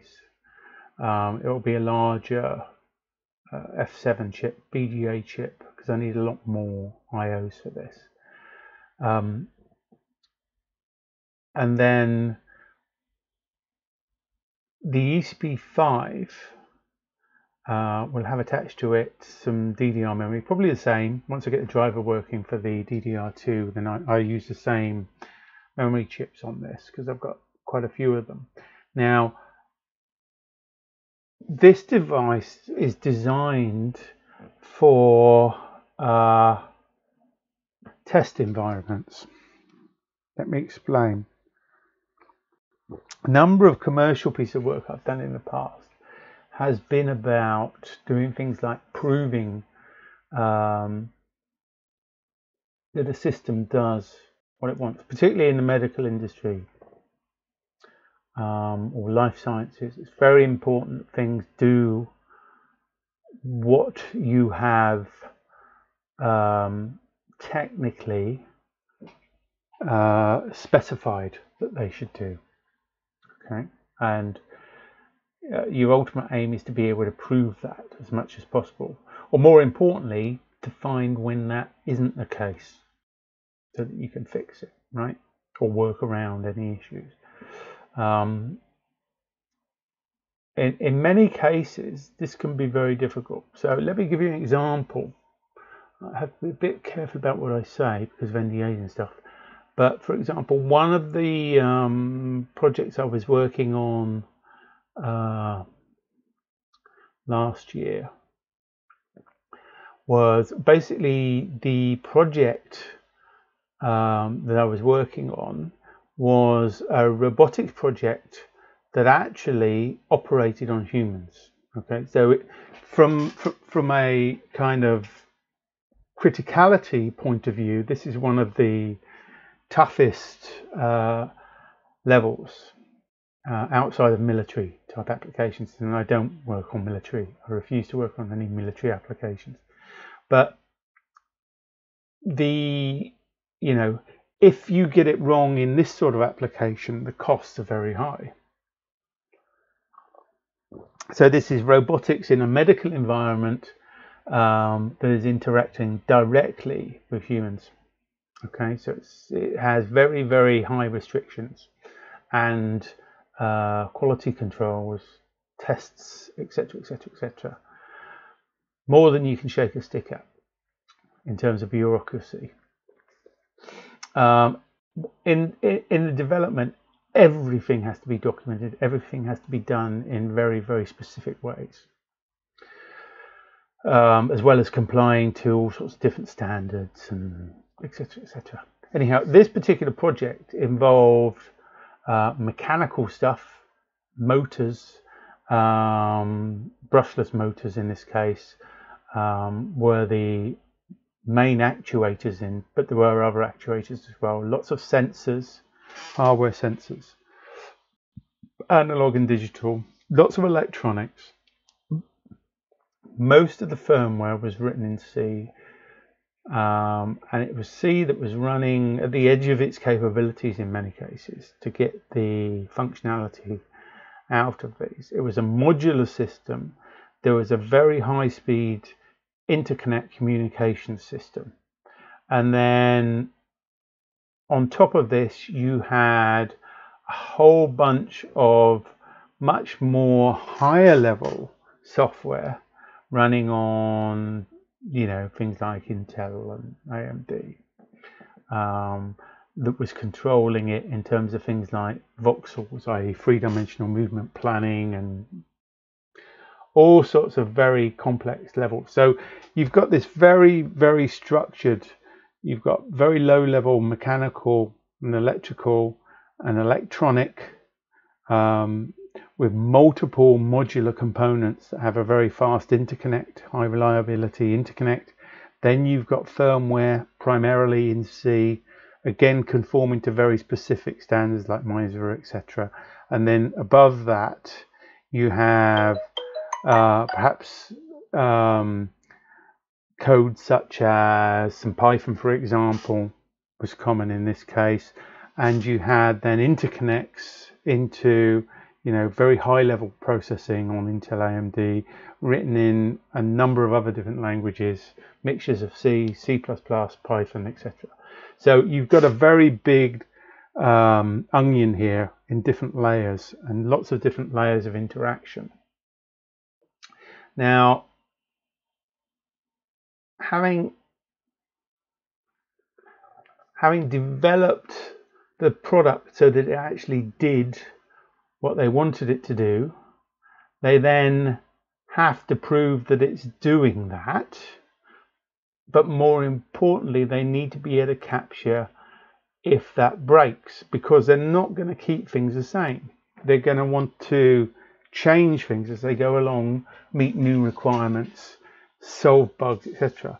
Now, if you change anything at a hardware level, it's a bit of a nightmare. The approval process that you're going to have to go through before this gets out into the real world um, on the real running systems. Likewise, at the C level, again, there's a whole um, layer of bureaucracy involved in getting out, but perhaps slightly less, and you can do it more frequently than at the hardware layer. Um, and then at the high level above, uh, it's probably easier again still. But at each point, you need to know, you need to be able to prove that you haven't broken it. You haven't introduced any new errors. So as you can imagine, the um, half of the issue with this is building the infrastructure so that you know that this is doing what it should so that when you change something you haven't introduced something new or broken something new, uh, broken something that exists. And you have to do that on multiple levels. Um, it's pretty difficult stuff. So they only introduce any changes that are grouped together once they're very, very sure that any new improvements or whatever or changes that they made don't break anything else and it improves the situation so it can be deployed without any side effects on the you know live running uh, um, systems that are out there doing the jobs um, and they will do that at very low intervals so they will put together all of these changes and roll them all at once but they're very very infrequent because they have to go through such a huge process to the audit process in order to get a new release out is ginormous. So it will only happen every couple of years or so. Um, but in order to do that, they have to have uh, a very complex, um, what do you call it? Um, a complete integrated test environment that is run at all the different layers, testing for all the different possibilities, etc. So a lot of what we were working on at the time. So for example, the hardware that controlled the motors, basically microcontrollers. I won't name any names here, but microcontrollers.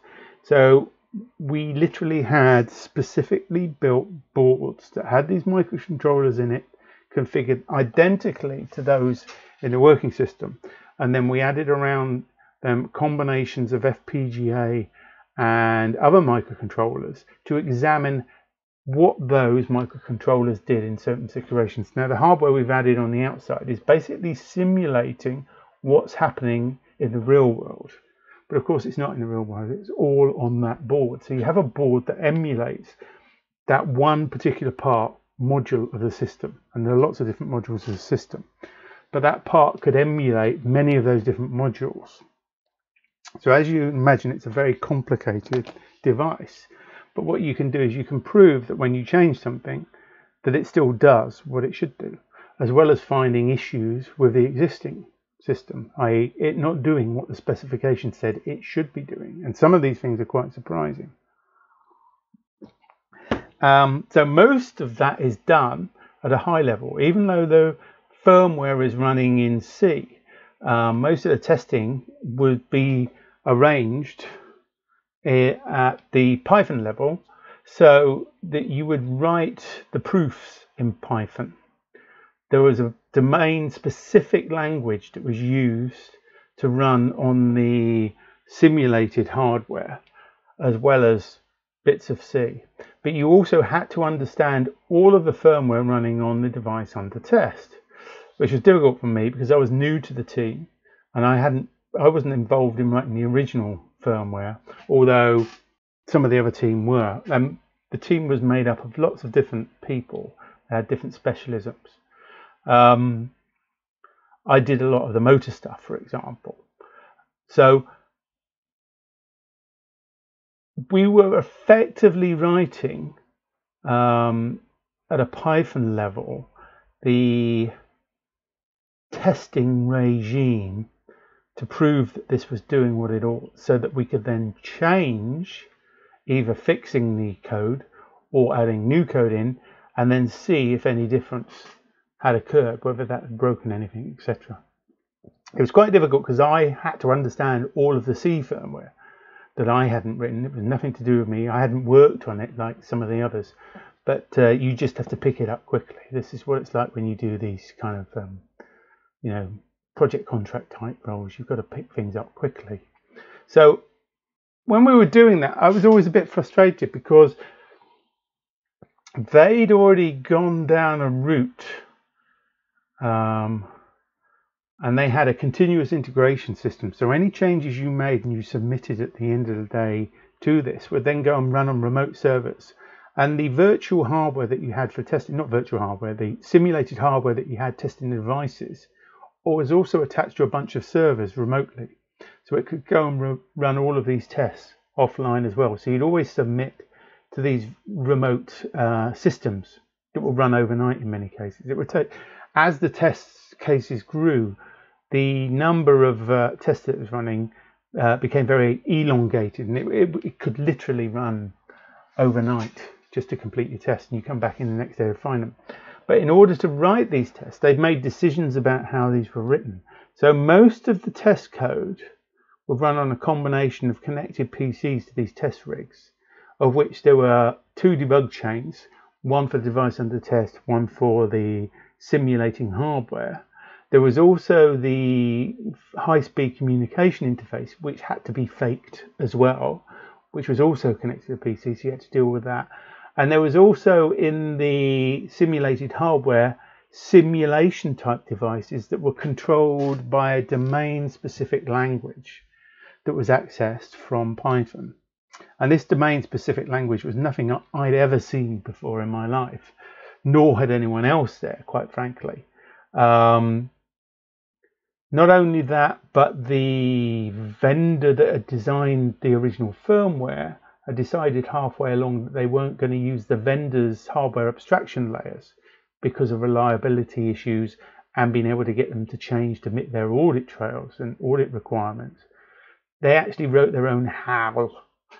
Um, so you were kind of, you weren't in Kansas anymore. It was very difficult type situation. And what I thought at the time was um, the way that the testing was controlled and written from within Python, the domain specific language that we use was very, very difficult to use and was somewhat underpowered. You'd find yourself going down this cul-de-sac of using this language to do what you want, only to find out that it wouldn't work fast enough um, to basically um, operate your logic on the real-time system. This was a common problem. So much time was wasted going up and down these cul-de-sacs trying to solve these problems, which meant you then had to back up and rewrite without using the domain-specific language, using more conventional mechanisms and having to dive down into lower level code, etc. Uh, at one point, they had to literally double the speed of their simulation hardware um, in order to be able to run the tests on it because of this, you know, the issues with things like this domain specific language.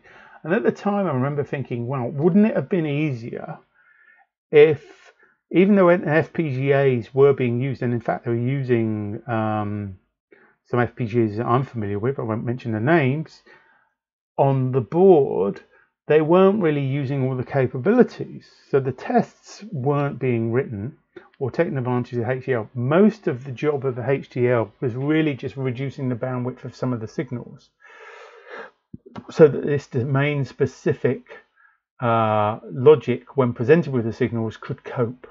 So often the FPGA was used to actually slow stuff down. But it wasn't used primarily, it was a backstop. And I always thought this was a huge waste. All of the digital stuff should have gone through the FPGAs. So the test rig system that I'm thinking of could be designed based around something like an ECP5 combined with a say an STM32F7 and what that would do I tell you what it would look like. It would look a bit like let me show you for those that haven't seen this. Um, when I say look a bit like I don't mean physically look like because I'd use different connectivity. But I remember when I first heard about this, I thought, wow, this is quite similar to what I'm thinking. Only they're coming at it from a different angle. And aiming at a slightly different uh, audience. Um, have you seen this Glasgow Interface Explorer?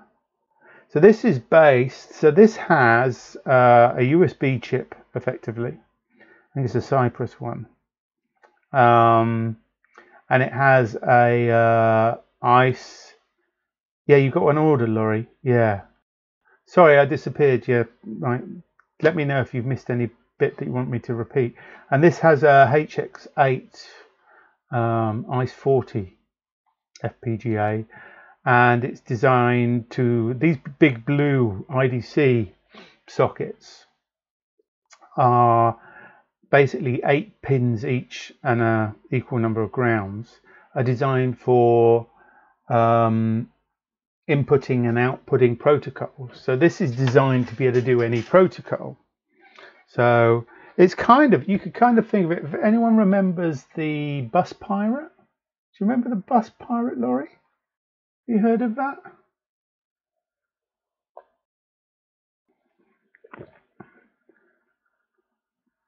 The Bus Pirate was a low-cost microcontroller-based test system that enabled you to go in and poke away at SPI or I2C or any fairly simple um, uh, serial type protocol, UART, etc. So this is like a grown-up version of that based around an FPGA that can do all sorts of different protocols. It can do things like PS2, UARTs, SPI, I2C, you name it. And there's a bunch of level shifters on it as well, which is kind of cool. I mean, go take a look. It's a brilliant product. It's open source. Uh, they're using nMigen to write all of the protocol stuff for it inside. And they're using async IO Python on the PC side as well to hook into it. And they have boilerplate library and stuff. It's a really cool project. So it's a bit like this in some ways. Uh, but obviously, I'm where I'm coming from is a slightly different angle. Uh, my interest is building test beds effectively in simulations rather than just protocol analysis and that kind of hacky stuff. I used it a bit when I was developing I squared C on BlackIce 2. Cool. Like the bus pirate. That's good. So anyhow, it's a bit like that in this sense, but in, in um, in this test rig design, what you have is you, yes, you have a microcontroller, probably something more powerful um, rather than just a USB controller, although what they've used there is actually programmable. I think it's 8051 based or something. Um, and then you have the ECP5, which is a bit more powerful as well.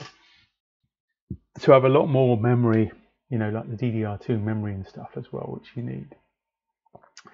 Um, and then basically, um, on top of that, oh, I want to see Glasgow is a better version of Bus Pirate Analogic Analyzer. Yeah, it will be. It'll be really good, Laurie. Definitely order one. Uh, it's on my wish list too. I haven't ordered mine yet. I really should. That I was actually going to build one uh, from the PCBs, but that's another story. The um, You keep disappearing. I'm sorry. I'll keep an eye out for when that happens. But under the test rig, um, what I wanted to do is have something slightly different. So yes, you could write the stuff in nMigen, but actually what I wanted was a more domain specific language within Python that had nMigen underneath it. Um, that was more oriented towards testing, if you like. So um, that's different. The other thing is rather than having to write your stuff on a PC, um, you'd be able to run MicroPython on the microcontroller as well. And you'd mix in some analog stuff. Damn it, I'm going up and down here. I just seen the um, Hopefully I should be back now. I don't know why this is so bad at the moment. If it carries on, I might have to um, bring it to a close. This just said welcome to the chat room again. That's good. Anyhow, so um, yeah, so I am working on. I haven't even got a name for it. no idea what to call this, but this is a test rig thing. So I will use it for my own purposes, so I can test my own projects with it but I think others will be able to benefit from it as well, um, uh, which is interesting. So I'll talk more about that. But that, in order to do that, that involves, as I say, uh, domain specific uh, language, if you like, within Python to be able to express what you're testing. And that will also lean on some of the other stuff I've been working on in terms of building IO oriented distributed uh, processing. And that may well be CSP based. It's not guaranteed yet. I'm playing around with that and how that works, etc. Which is where that connection is with, you know, what we were seeing earlier when I mentioned the XMOS stuff, when I mentioned, you know, what Raspberry Pi just announced with their PIO stuff and the propeller stuff, etc., etc. Um, that was a segue on that. Uh, given that I'm going up and down quite a lot, I'm probably going to look at finishing it now. Did you have any other questions, Laurie? I mean, that project probably is not your street quite as much. I don't know. Might be useful to you, but it, you know, the Glasgow may be something more suitable. Um, testing is a slightly different area. I mean, you could use it for hacking as well. Um, and what I write on here could actually run on Glasgow as well, potentially. Um, basically, what the board will be capable of doing is um, virtualizing hardware for a system under test, for example. What would the DSL look like? Well, that's tricky. Um, at a low level, it will just look like a programming language.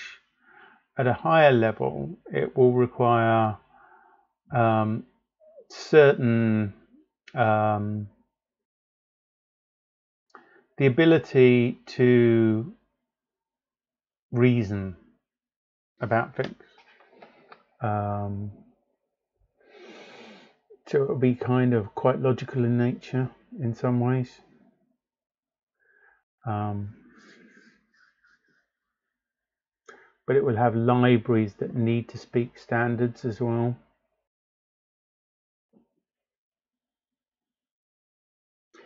Uh, yes, we will describe the hardware in DSL, but not at a very low level because that's very difficult. Um, and I don't want to just rewrite Verilog or VHDL or nMigen. It's at a much higher level than that. It's about reasoning how something works.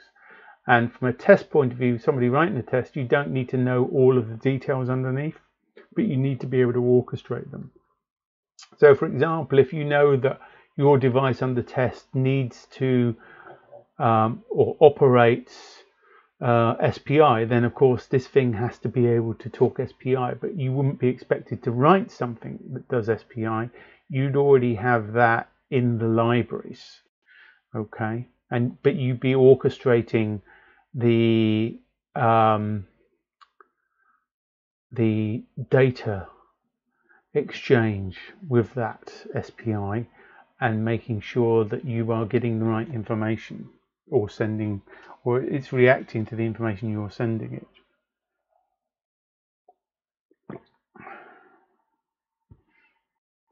So it's a higher level abstraction than the hardware. Um, think of it as plugging into all of the pieces of the hardware so that you can tell exactly what the hardware is doing. You can emulate what that hardware would have to be dealing with in the real world. But it's fast, more importantly and the way that you express it is at a much higher level, much simpler level, without having to know particular details. So the only details that you may have trouble with are, are anything proprietary that isn't already specified by those common protocols, of which there will be quite a bit of it, but that's but you'll be confined to concentrating on those parts and the orchestration of all of those parts. So it may use nMigen underneath to create the implementation, but you wouldn't necessarily be writing nMigen yourself. You'd be writing something at a higher level. Um, so somewhere between, uh, what do they call it? Somewhere between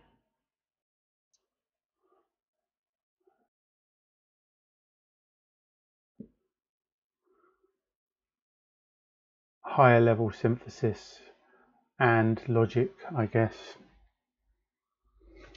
Ooh.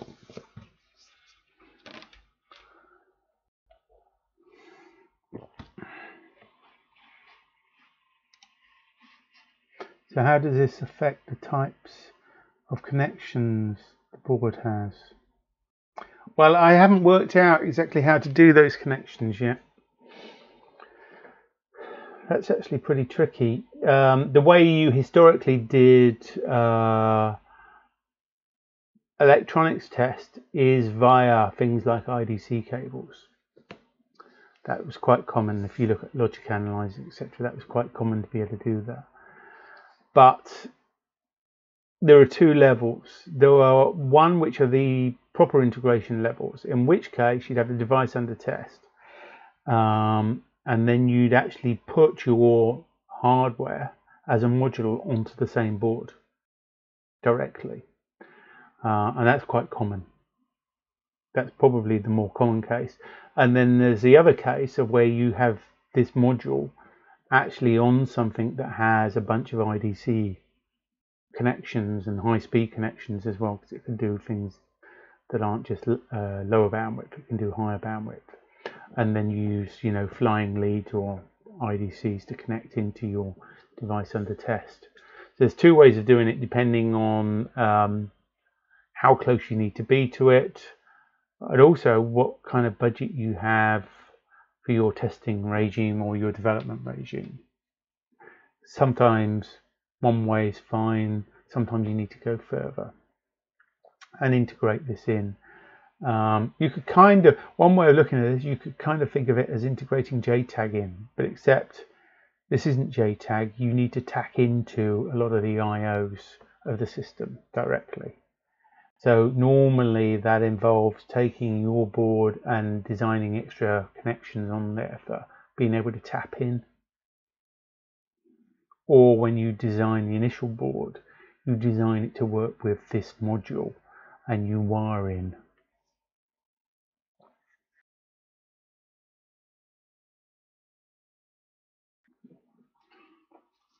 IDC is just a convenient way of doing it.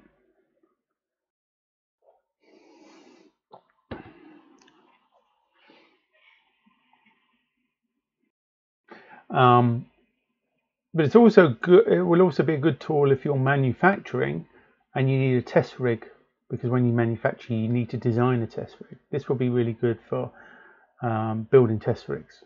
Lots of people use things like Raspberry Pis and that to do that now, which are less than suitable in many cases, and they're certainly limited in their capabilities.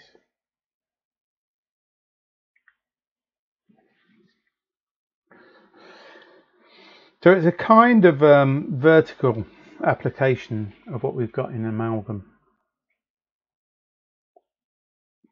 And initially it probably look a lot like amalgam, but I, it does need some differences that you things that aren't on amalgam. So for example, um, to get the proper mixed signal capabilities in, you need to uh, integrate the IOs in uh, in a different way. Um, there's a lot more connectivity involved. But inside the test system itself is basically a bunch of, if you like, CSP units that operate these um, protocols, etc. And it's very I/O bound. A lot of it's about I/O. Um, hence the connection to the earlier conversation. Yeah, it's a bit difficult. It's a bit abstract um, at this level if you haven't kind of worked in those areas before. Um, it will become more real when I put start putting some hardware together and show it doing something. Um, in order to really see its value, what I need to do is apply it to a particular, excuse me, a particular um, design that's ongoing. Um, either something I'm already designing or someone else's device or something like that too. And then, then you'll probably see uh, what it looks like.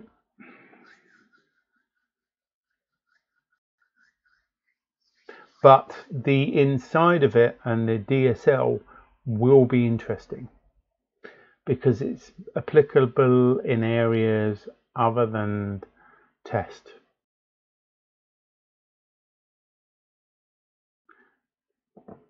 It provides an interesting area for development.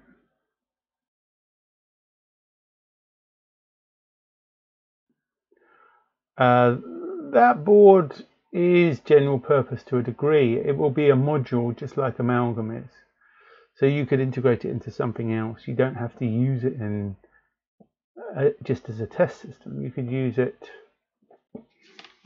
to do anything that Amalgam could do really.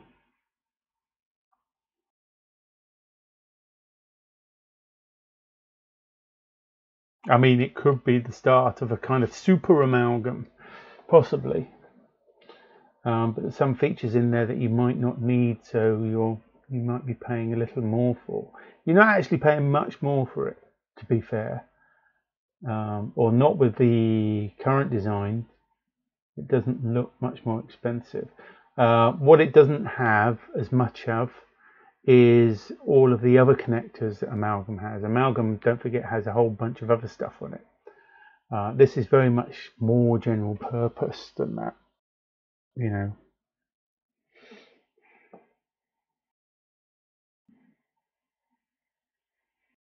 I think there's a lot of places this will go in, but they're more vertical type situations. And yes, you could use it like a Glasgow if you wanted to, or a bus pirate, because it'd be able to do that just as easily.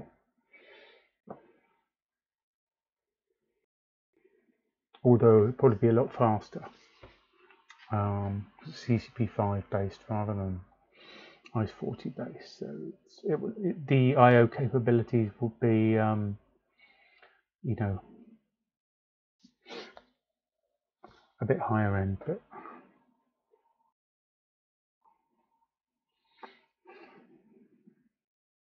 normally you're interfacing to, you know, microcontrollers under test. That kind of environment is what you're going into. Any, any other questions, guys, before I uh, slope off for the evening? Um, I probably want to talk about the Raspberry PIO stuff again next week, maybe. I'll have a think about it, and if you ever think about it as well, Laurie, um, you know, doing a HCL or Migen version of those blocks will be interesting and fun, I think.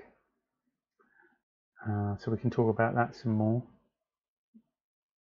Particularly if you can hook it up to the VexRiscv, that'd be kind of cool. That'd be very cool indeed. I'd like to see that. And I might get a help if you get unstuck at all. Because I do have some insight to some of that stuff. Not on the VexRiscv side, but on the IO stuff.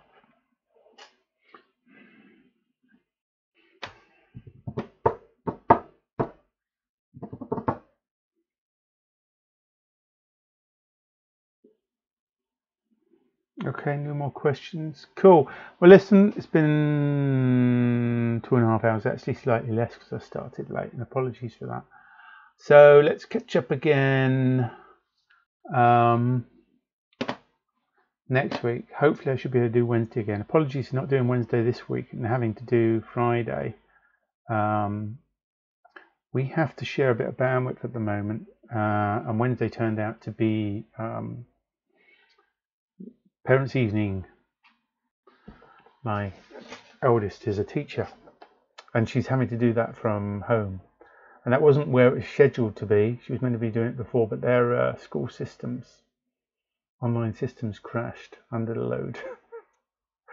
so they had to defer it and do it on Wednesday, which meant I couldn't do my stream. Because if I tried to do this streaming at the same time, she's doing all that video zooming to the parents and stuff, it would have been um, uh, bit of a carnage on the broadband. So uh, I moved it to Friday. Hopefully um, next Wednesday we should be okay. Should be good to go back to the normal schedule. Anyhow, thanks for joining me, guys. Um, as usual, do join us down at um, the myStorm forum. Um, for more conversations. Uh, and if I don't speak to you before then, I'll see you on Wednesday. Chao.